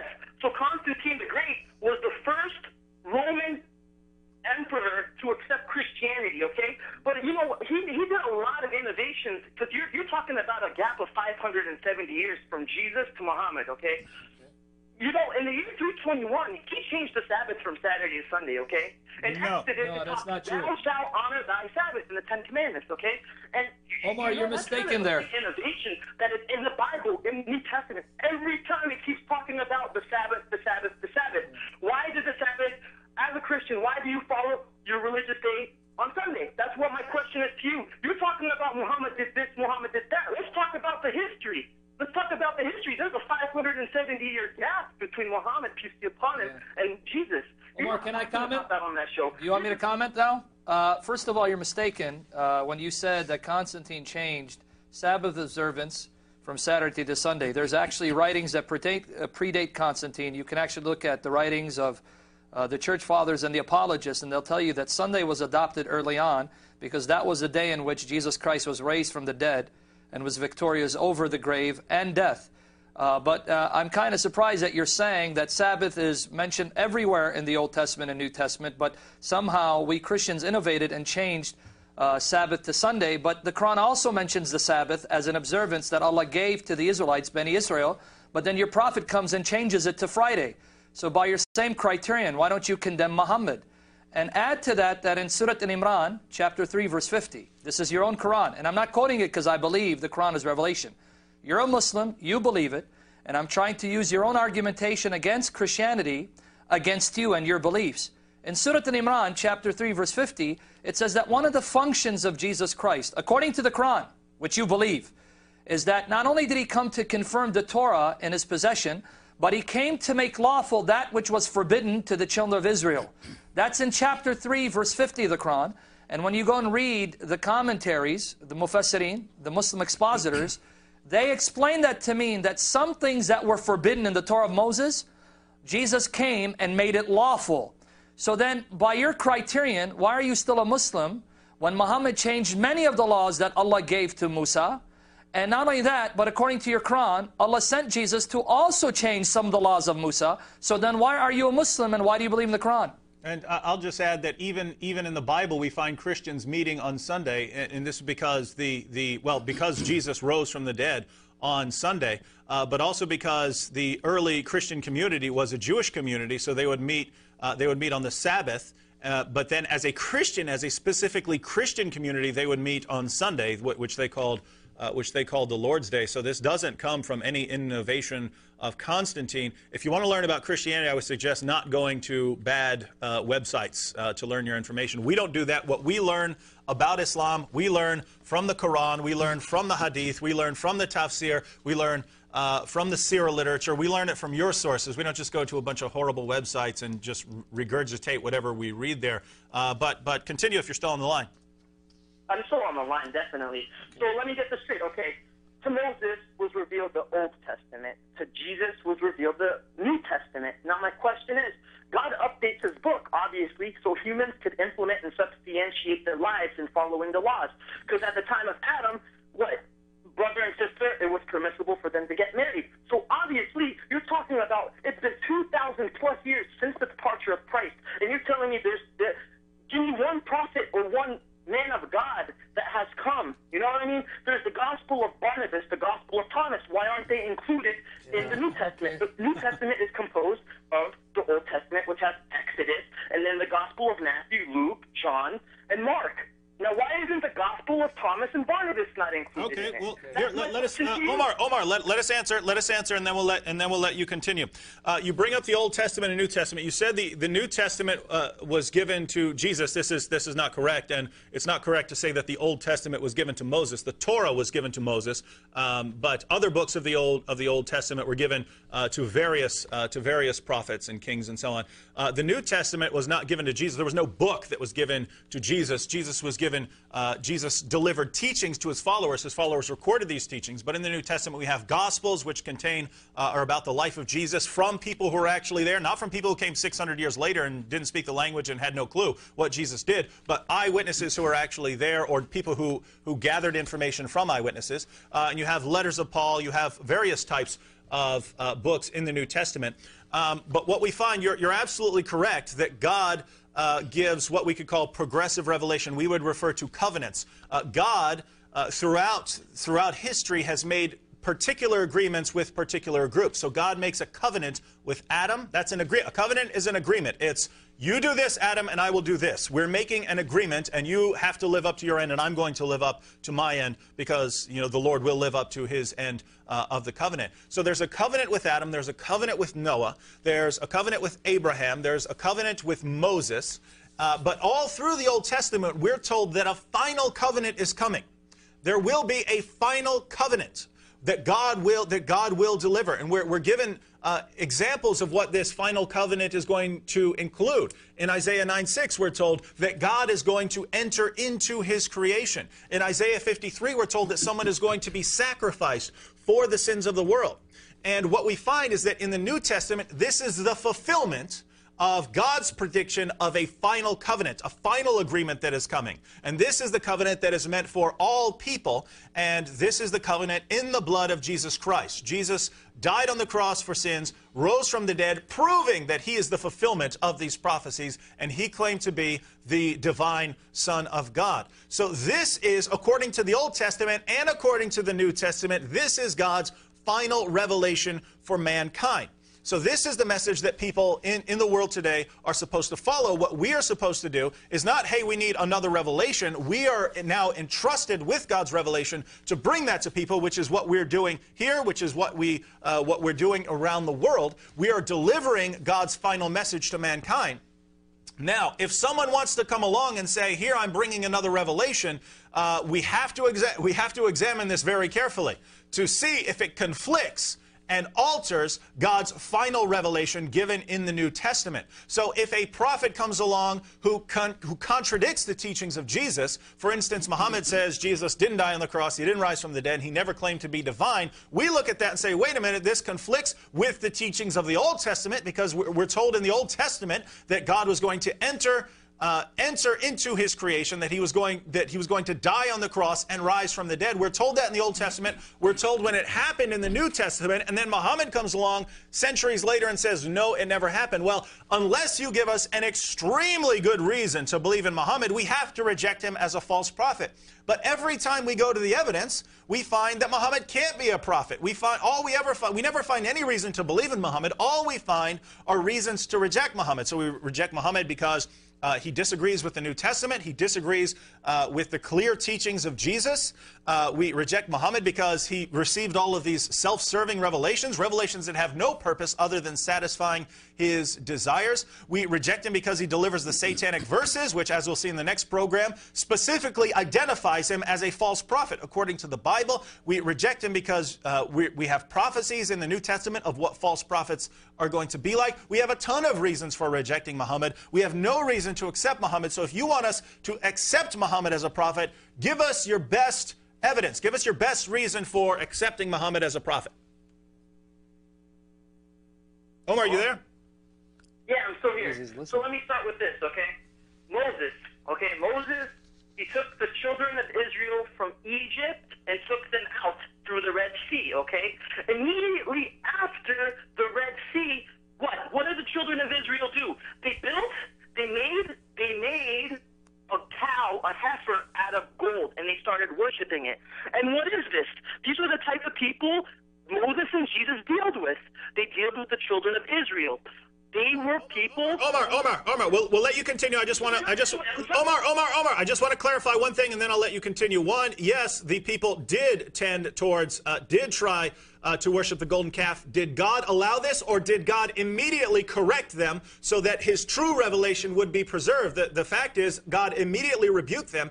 And every time, every time throughout the history of the Old Testament that people turned to paganism and idolatry, God sent them prophets and sent them punishment in order to correct them. In other words, God didn't allow them to continue in their rebellion. We get to the New Testament and God delivers a revelation, we'd expect the same pattern, namely God preserves it. And then Muslims today say, no, it's all been corrupted. Well, that's not what we know about God. We would agree with the Quranic revelation that, that uh, with what we find in the Quran, that which you believe as revelation, that God, that no one can change God's words. So we do not believe God is going to allow his people to persist in paganism and idolatry.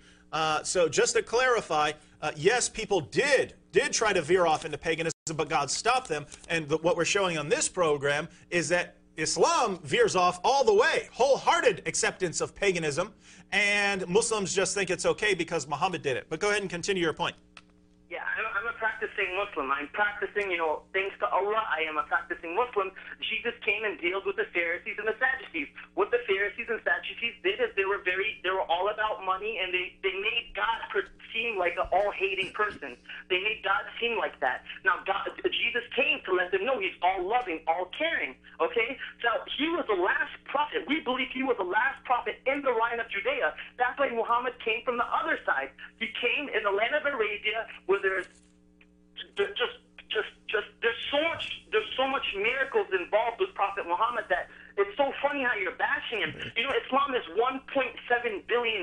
It's strong. No matter how much you put the show on, it's gonna grow. It's the fastest growing religion in the world. In Omar, America. Kenny, hold on, Omar. We got to go to a break. Omar, hold Stay, the thought. stay on the line. We got to go line. to a break. Don't leave. All right, uh, ladies and gentlemen, we'll have a break and we'll, we'll, we will be back.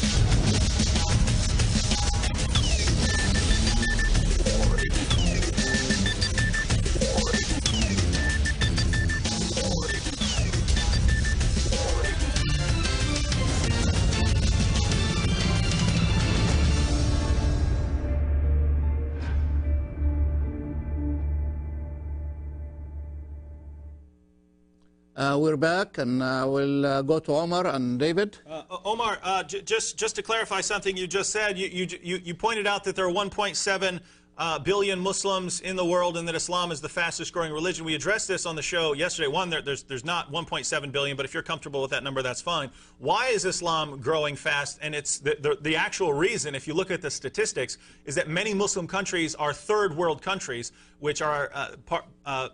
Part of the, the criterion for being a third world country is high birth rates. We find in, uh, even here in the West, in, in Europe, for instance, that Muslim birth rates are three times higher than that of non Muslims. So it's not because people are converting to Islam around the world.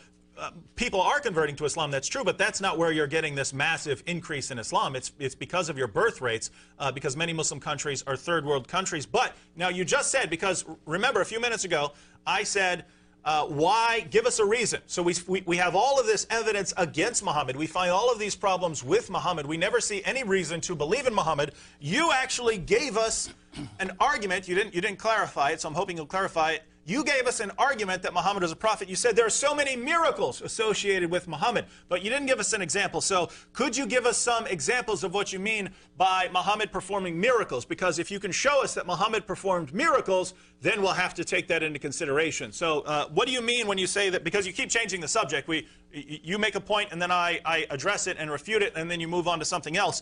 But let's, let's get on this issue of miracles. Uh, what miracles uh, show that Muhammad was a true prophet? Okay. Uh, the, the last person the Jews accept is Ezra, right? The last person the Christians accept is Jesus.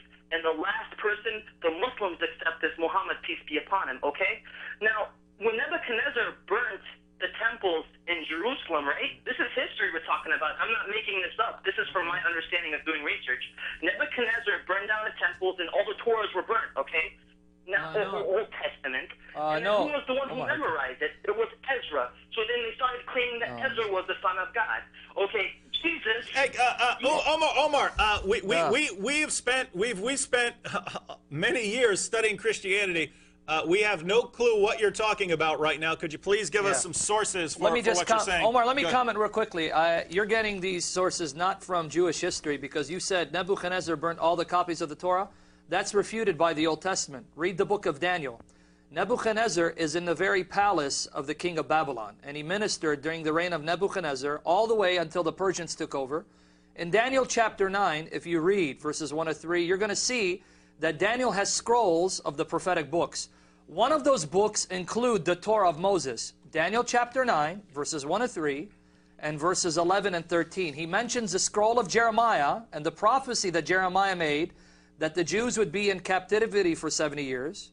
And then he mentions all the curses falling upon the Israelites as recorded in the law of Moses, which means that he has a copy of the law of Moses and he's reading it.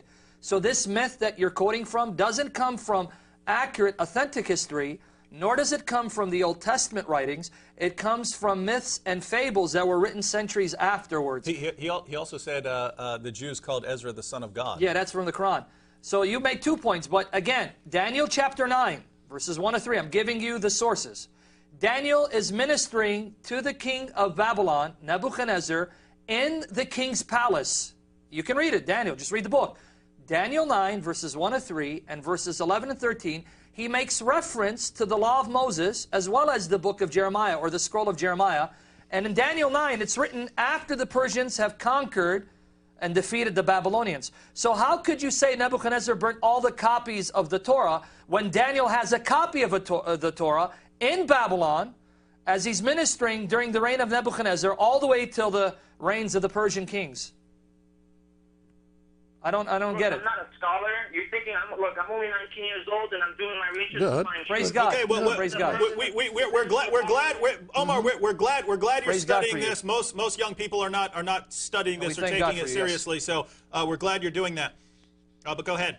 Yes. We're not knocking you, by the way. I'm not a scholar. You're trying to like, I'm, uh, you know what I mean? Like the, the beautiful verse in Proverbs that says, "How much better to get wisdom than gold." Amen. This is wisdom. Wisdom seeking truth and, and finding it. We And agree, we agree. Scriptures, and I don't deny nothing. And you know what? You keep cutting me off. You keep cutting me off.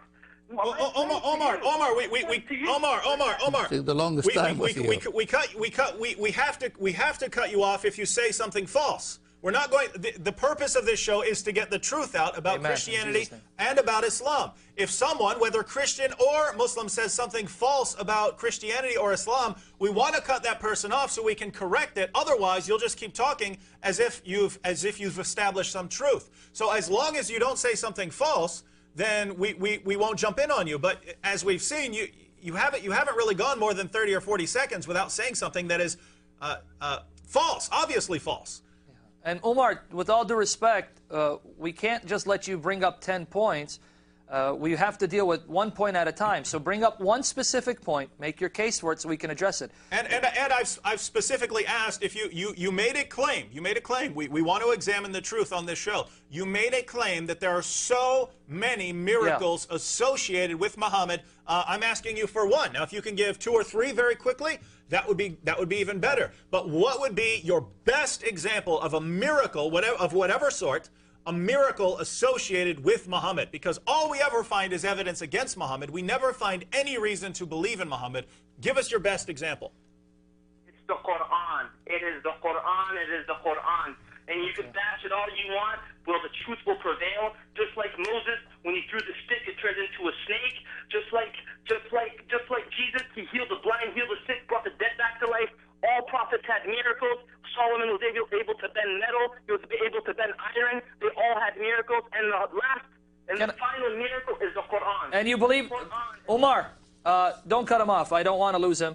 Omar, since you believe the Quran is a miracle, you believe everything it says is true, and that whatever it says will happen shall happen, right? You agree with that, right? Is he on? 64 years after Christ, Yeah. the great fire of Rome happened, and what happened? It was blamed Omar. Christians. Okay. Omar, we don't want to have to cut you off. If you're not going to listen, you're getting emotional, we're going to have to cut it off. You said the Quran is a miracle, therefore you believe whatever the Quran says will happen, must happen. That's I'm I'm correct to assume that. Well, if you if you're watching last night program and I can't go back because we're dealing with another subject, according to your Quran, it says the followers of Christ would prevail from the time of Christ's ascension till the day of resurrection. Chapter 3, verse 55 of the Quran.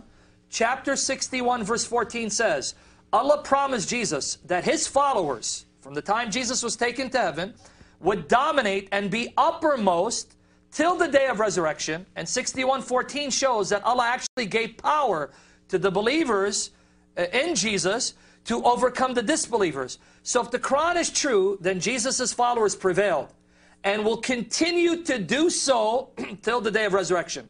That means two things. Number one, if they prevailed, then that means their teachings, their message also prevailed because it makes absolutely no sense to say Jesus' followers prevailed, but his message got lost. Other, uh, how can you be a follower of Christ if you're not following his teachings? So if that's true, where is that message of Jesus' followers? Where is the message of those who prevailed and will continue to do so till the day of resurrection, if not the New Testament? So Omar, do you agree with the Quran? And if so, do you accept the implications of the statement of the Quran that the message and the followers of Christ have prevailed, will continue to prevail, the conclusion being that the New Testament must be that message because the New Testament is, is the documents that was written by those who were given victory and the New Testament message is prevailing and spreading like wildfire all over the world till this day. Do you accept that conclusion? I accept Jesus. Excellent. If I never, if I don't accept Jesus, I am not a Muslim. Uh, you know. So do you accept the New Testament? You're talking about now about Islam is this and Islam is that and the Prophet this. 64 years after Christ, the great fire of Rome happened, okay? And Nero, the Emperor Nero, who did he blame it on? He The Christians, on yes. The Christians. Because the Christians, you know what it is? Because they were, the, the Christians of those times were believing in the Tawheed and the oneness of the one God. Uh, uh, can, uh, uh, No, Omar, Omar, no, can you give not- us can you give us any source saying that these Christians, uh, saying that the Christians that Nero wanted to persecute, uh, believed in Tawheed. Tawheed? Can you give us a that's not in source? Any Quran. source other than some horrible website where you're usually getting your information from?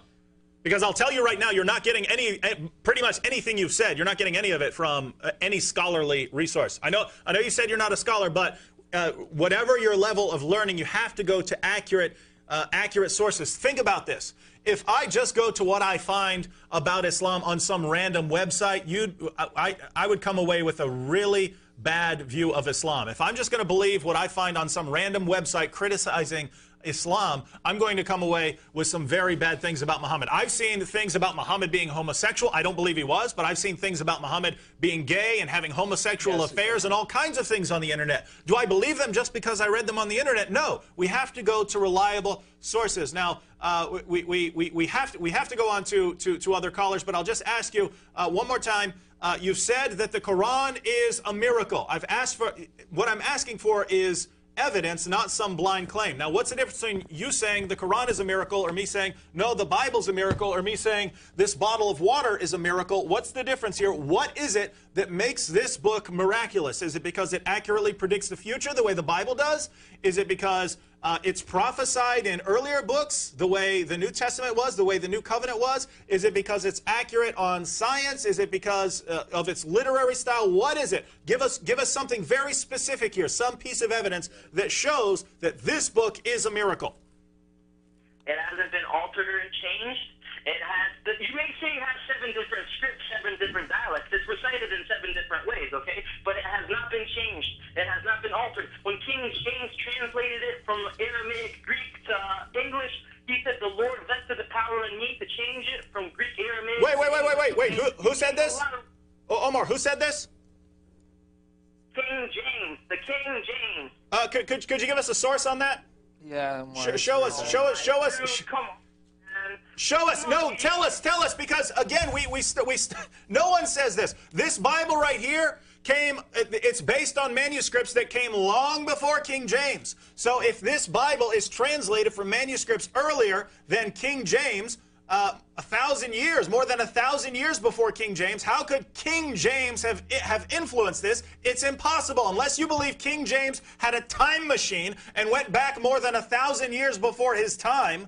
Then there's no way he could have influenced these manuscripts. Do you not see how absurd your claims are? Uh, Omar, your Quran says that your Quran was being corrupted in the lifetime of Muhammad. 1591. Surah Al-Hijr, chapter 15, verses 90 91. Here I have the Quran. I'm holding it up so you know that I'm not just quoting out of thin air. Surah Al-Hijr, chapter 15, verses 90 to 91. As we sent down on those who divided, as have made the Quran into shreds. So your Quran itself testifies that in the lifetime Muhammad, uh, the Quran was being corrupted, uh, it was being uh, tampered with, and then you have hadiths that record passages that are missing and chapters that are missing. Uh, missing. But see, again, we're going off topic. Now we're talking about the preser preservation of the Quran. Yeah. But notice, notice, notice, uh, because I, I, I want to clarify this because Umar says Umar says that he is that he is studying. But notice, for those of you who are watching around the world, almost everything Umar has said has been false. Whether he's talking about Christianity or whether he's talking about Islam, he said that that Muhammad is known for many miracles. I said, "What's your best one?" He said, "The Quran." I said, "Okay, what's your best reason for believing that the Quran is miraculous?" He said, "It's perfect preservation." Sam pointed out that according to the, the Quran, Surah 1591, the Quran was being changed during Muhammad's lifetime. But if that's not enough, let me just go through briefly here because Umar, Umar. Notice what, what we're doing here. You have a belief that is based on what you've heard about Islam.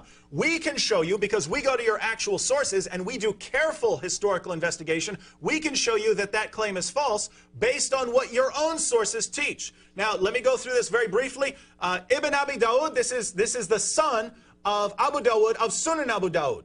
And what does he say about the Quran? He says many of the passages of the Quran that were sent, uh, that were known by those who died on the day of Yamama. Uh, but they were not known by those who survived them, nor were they written down, nor had Abu Bakr, Umar, or Uthman by that time collected the Quran, nor were they found with even one person after them. Here he's referring to an instant where Abu Bakr sent many of the, all of the people who had the Quran memorized, he sent them into battle thinking that Allah would protect them so that he wouldn't allow his Quran to be corrupted. And these people were slaughtered. And he specifically says many passages were lost on that day and they weren't known by anyone else. Now, if we go through, and if you, if you want to call back, uh, you can. But what we find when we examine the evidence, according to your sources, according to your most reliable sources, uh, Muhammad's top scholars of the Quran didn't agree on what chapters were supposed to be on the Quran. You said it's never been changed. Muhammad himself identified his greatest teacher of the Quran as Abdullah ibn Masud. Abdullah ibn Masud had 111 chapters in his Quran. He said that Surah 1, Surah 113, and Surah 114 are not supposed to be in this Quran. How can you say it hasn't been changed? In uh, Sahih Muslim, in Sahih Muslim, one of your most trusted collections of a hadith, we're told that two surahs came up missing. Two entire surahs came up missing, and he says that it was because of the hardness of their heart. This is Abu Musa. This is Abu Musa saying this, that they, they forgot parts of the Quran because of their hardness of hearts. They didn't recite it enough. Over and over again, we find Aisha saying that two-thirds of Surah 33 are gone. They forgot them. He couldn't... Uh, uh, uh, Uthman couldn't locate them when he's trying to put together the Quran. Two thirds of Surah 33 are missing. Aisha even said that the verse of stoning and the verse of breastfeeding an adult 10 times, when we read the hadith, these verses were revealed as part of the Quran. They're supposed to be in there. What happened to them? Aisha tells us in Sunan ibn Majah that she left, she was the only one who had a copy of them. She left it lying on her bed and a sheep came in and ate the manuscript. This is not me saying this. This is not, uh, this is not some bad website saying this. This is Sunan ibn Majah, one of the collections of Sahih Sita. Over and over and over again, like a beating drum from the Quran, from, the, from, from all of your collections of ahadith, we find over and over again that the Quran has been changed, altered, corrupted, Parts of it have been lost. Parts of it that aren't supposed to be in there were added in. And you say perfect preservation. Why? Because your imam told you to believe that. Your parents told you to believe that. And you've never, in your investigations, actually gone to the evidence to see whether your belief is true. We're telling you that it's not true. And if you look at the evidence, you will see what you've been taught is not true. And Umar, I'll just ask if they if they deceived you about that, if they convinced you that the Quran has been perfectly preserved, when all of the evidence from all your sources say it hasn't, what else have you been deceived about, my friend? Pastor Just, can you remind them what the uh, topic is as you go to the next the, call, just so they can know? the pagan of Uh, the Pagan pagan, origins. origins. of Islam. That's our topic. And That's uh, topic, Omar, yes. uh, thank you very much uh, for your time. And uh, I will take the next call. Yes, hopefully we stay on topic. We'll see. Please stay on topic. The pagan, uh, the, ori- the the pagan origins of Islam. Yes. Good evening.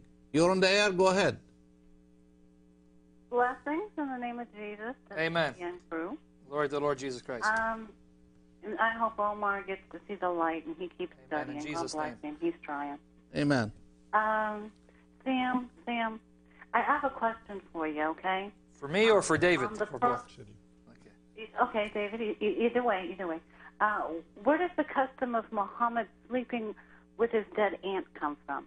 Now, my understanding is it, it has to have some kind of pagan origin for for, uh, and, and I haven't been able to uh, do a good study on the pagan origins and the time uh, in the area of Muhammad. So, if you give me some kind of uh, uh, background on it, I would appreciate that. Uh, it- I, I'm not sure exactly. What, are, are you referring to uh, Muhammad sleeping with, with Ali's mother? Dead Yes. mother? Yeah, uh, that, that well, as far as the narrative, this comes from uh, a collection called Kanz al-Ummal.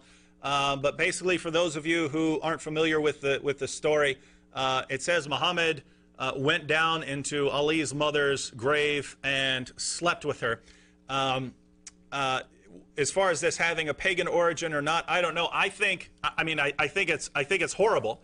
Uh, if this really happened, I think this is, is absolutely disgusting. But I think I understand uh, Muhammad's reasoning. So uh, Ali's mother dies. They think, oh, maybe she's going to hell. Maybe she didn't have a, a correct belief. What? And Ali is horribly distraught and horrified. What's hap- What's going to happen to my mother? It seems to me that Muhammad's reasoning is, well, if I sleep with her, then she'll be one of my wives. She'll be identified as one of my wives, and this will make her okay in the afterlife. So I don't know if this was uh, specifically a pagan practice. It seems to be based on Muhammad's belief that anyone he has sex with is going to be, you know, is going to have a better uh, afterlife or something like that. So lessen the torment in the grave. yeah, lessen lessen the torment, in the of, of the grave. Um, but yeah, that's that's about Yeah. all I can say on that. So Do you want me to read the narration, sister? Do you want me to read the narration? Are you there? out of all of yeah, I'm here. Do you want So to, me to read the narration, or what do you want? You want to move on? Uh, no, let, let me ask you this first, and then read the narration. So, out of the 360 gods, idols that Yeah. Muhammad met, you don't know if one of them was a god of the dead or something like that that would influence him to think that this was an okay practice to do. Uh, no, we won't. We don't know. There were the 360 idols. We're not given all their names. The most famous of the Okay.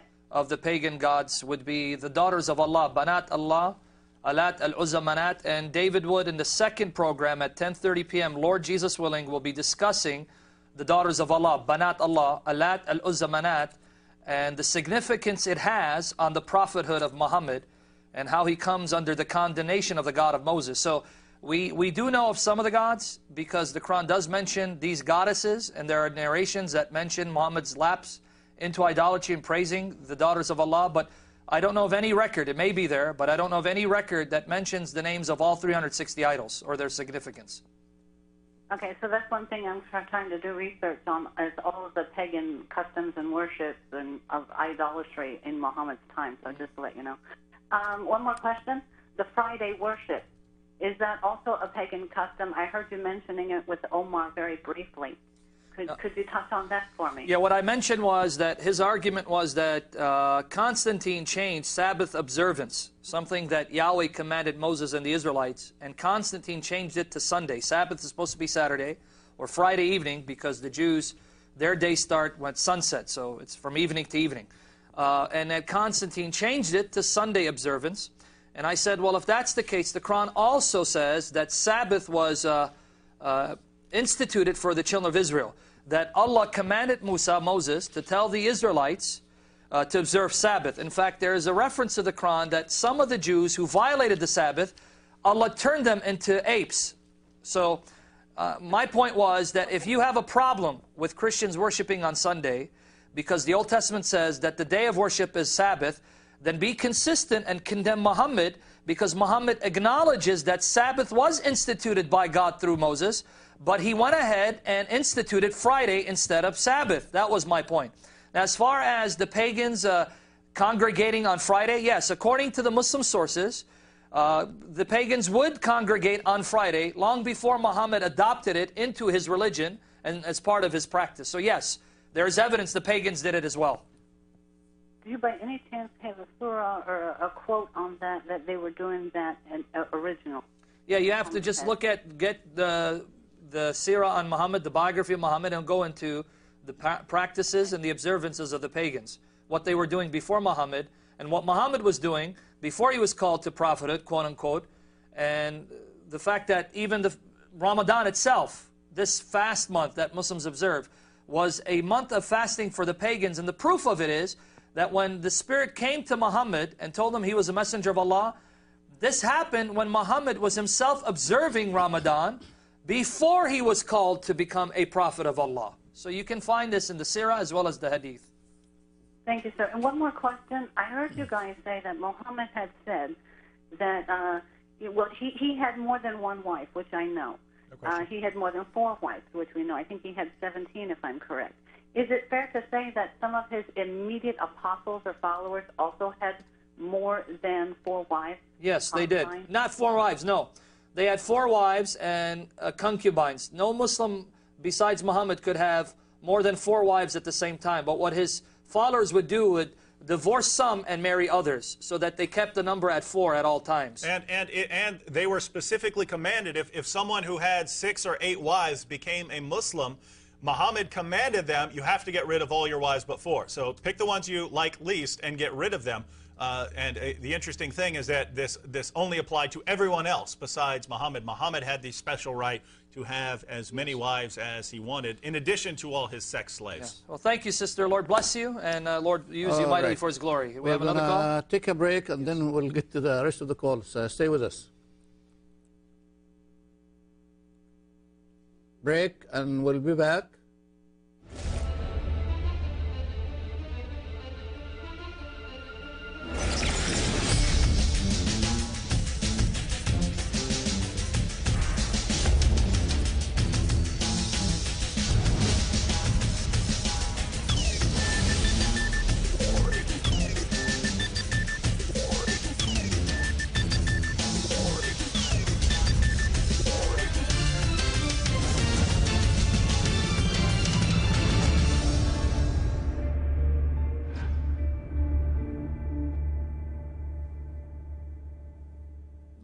Welcome back, uh, ladies and gentlemen. Uh, our topic, the pagan origins of Islam. Please stay to the topic.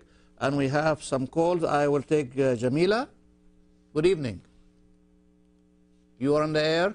Go ahead. Well, yeah. Um, what is the whole point of the show?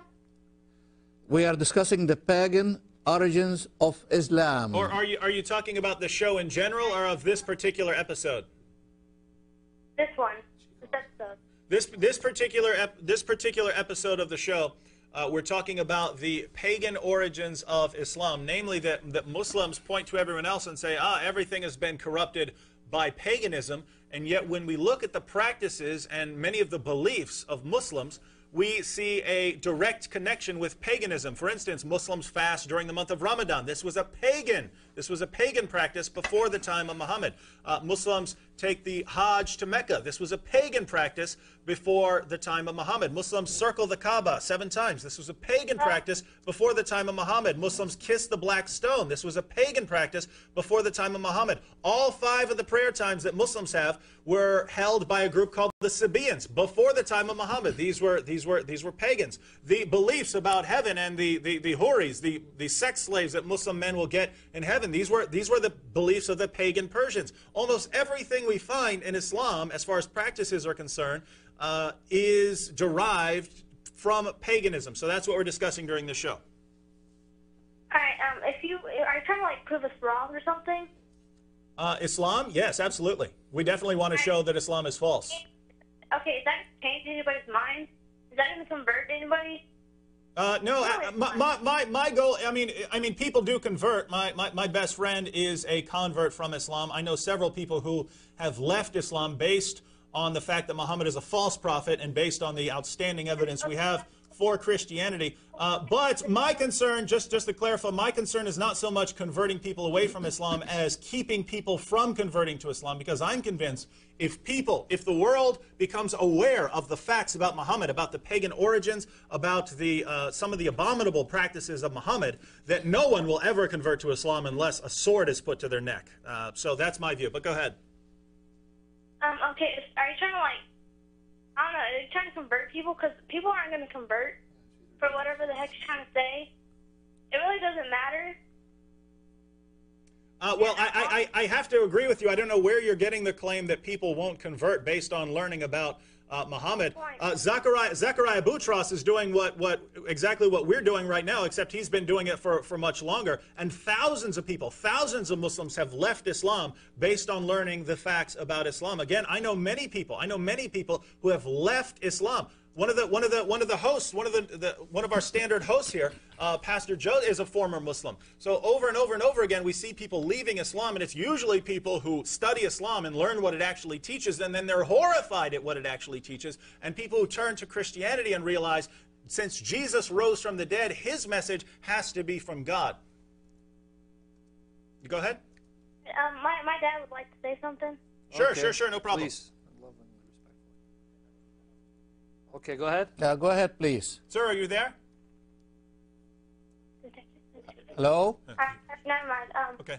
so what? So y'all made this show like just to contrast. All right, go ahead. I, did you make this whole show, this whole like TV? Did you make it all like to just contrast between Christians and Muslims? Yes, yes, Yes. th- yes. The, the purpose of the show, that's why it's called Jesus or Muhammad.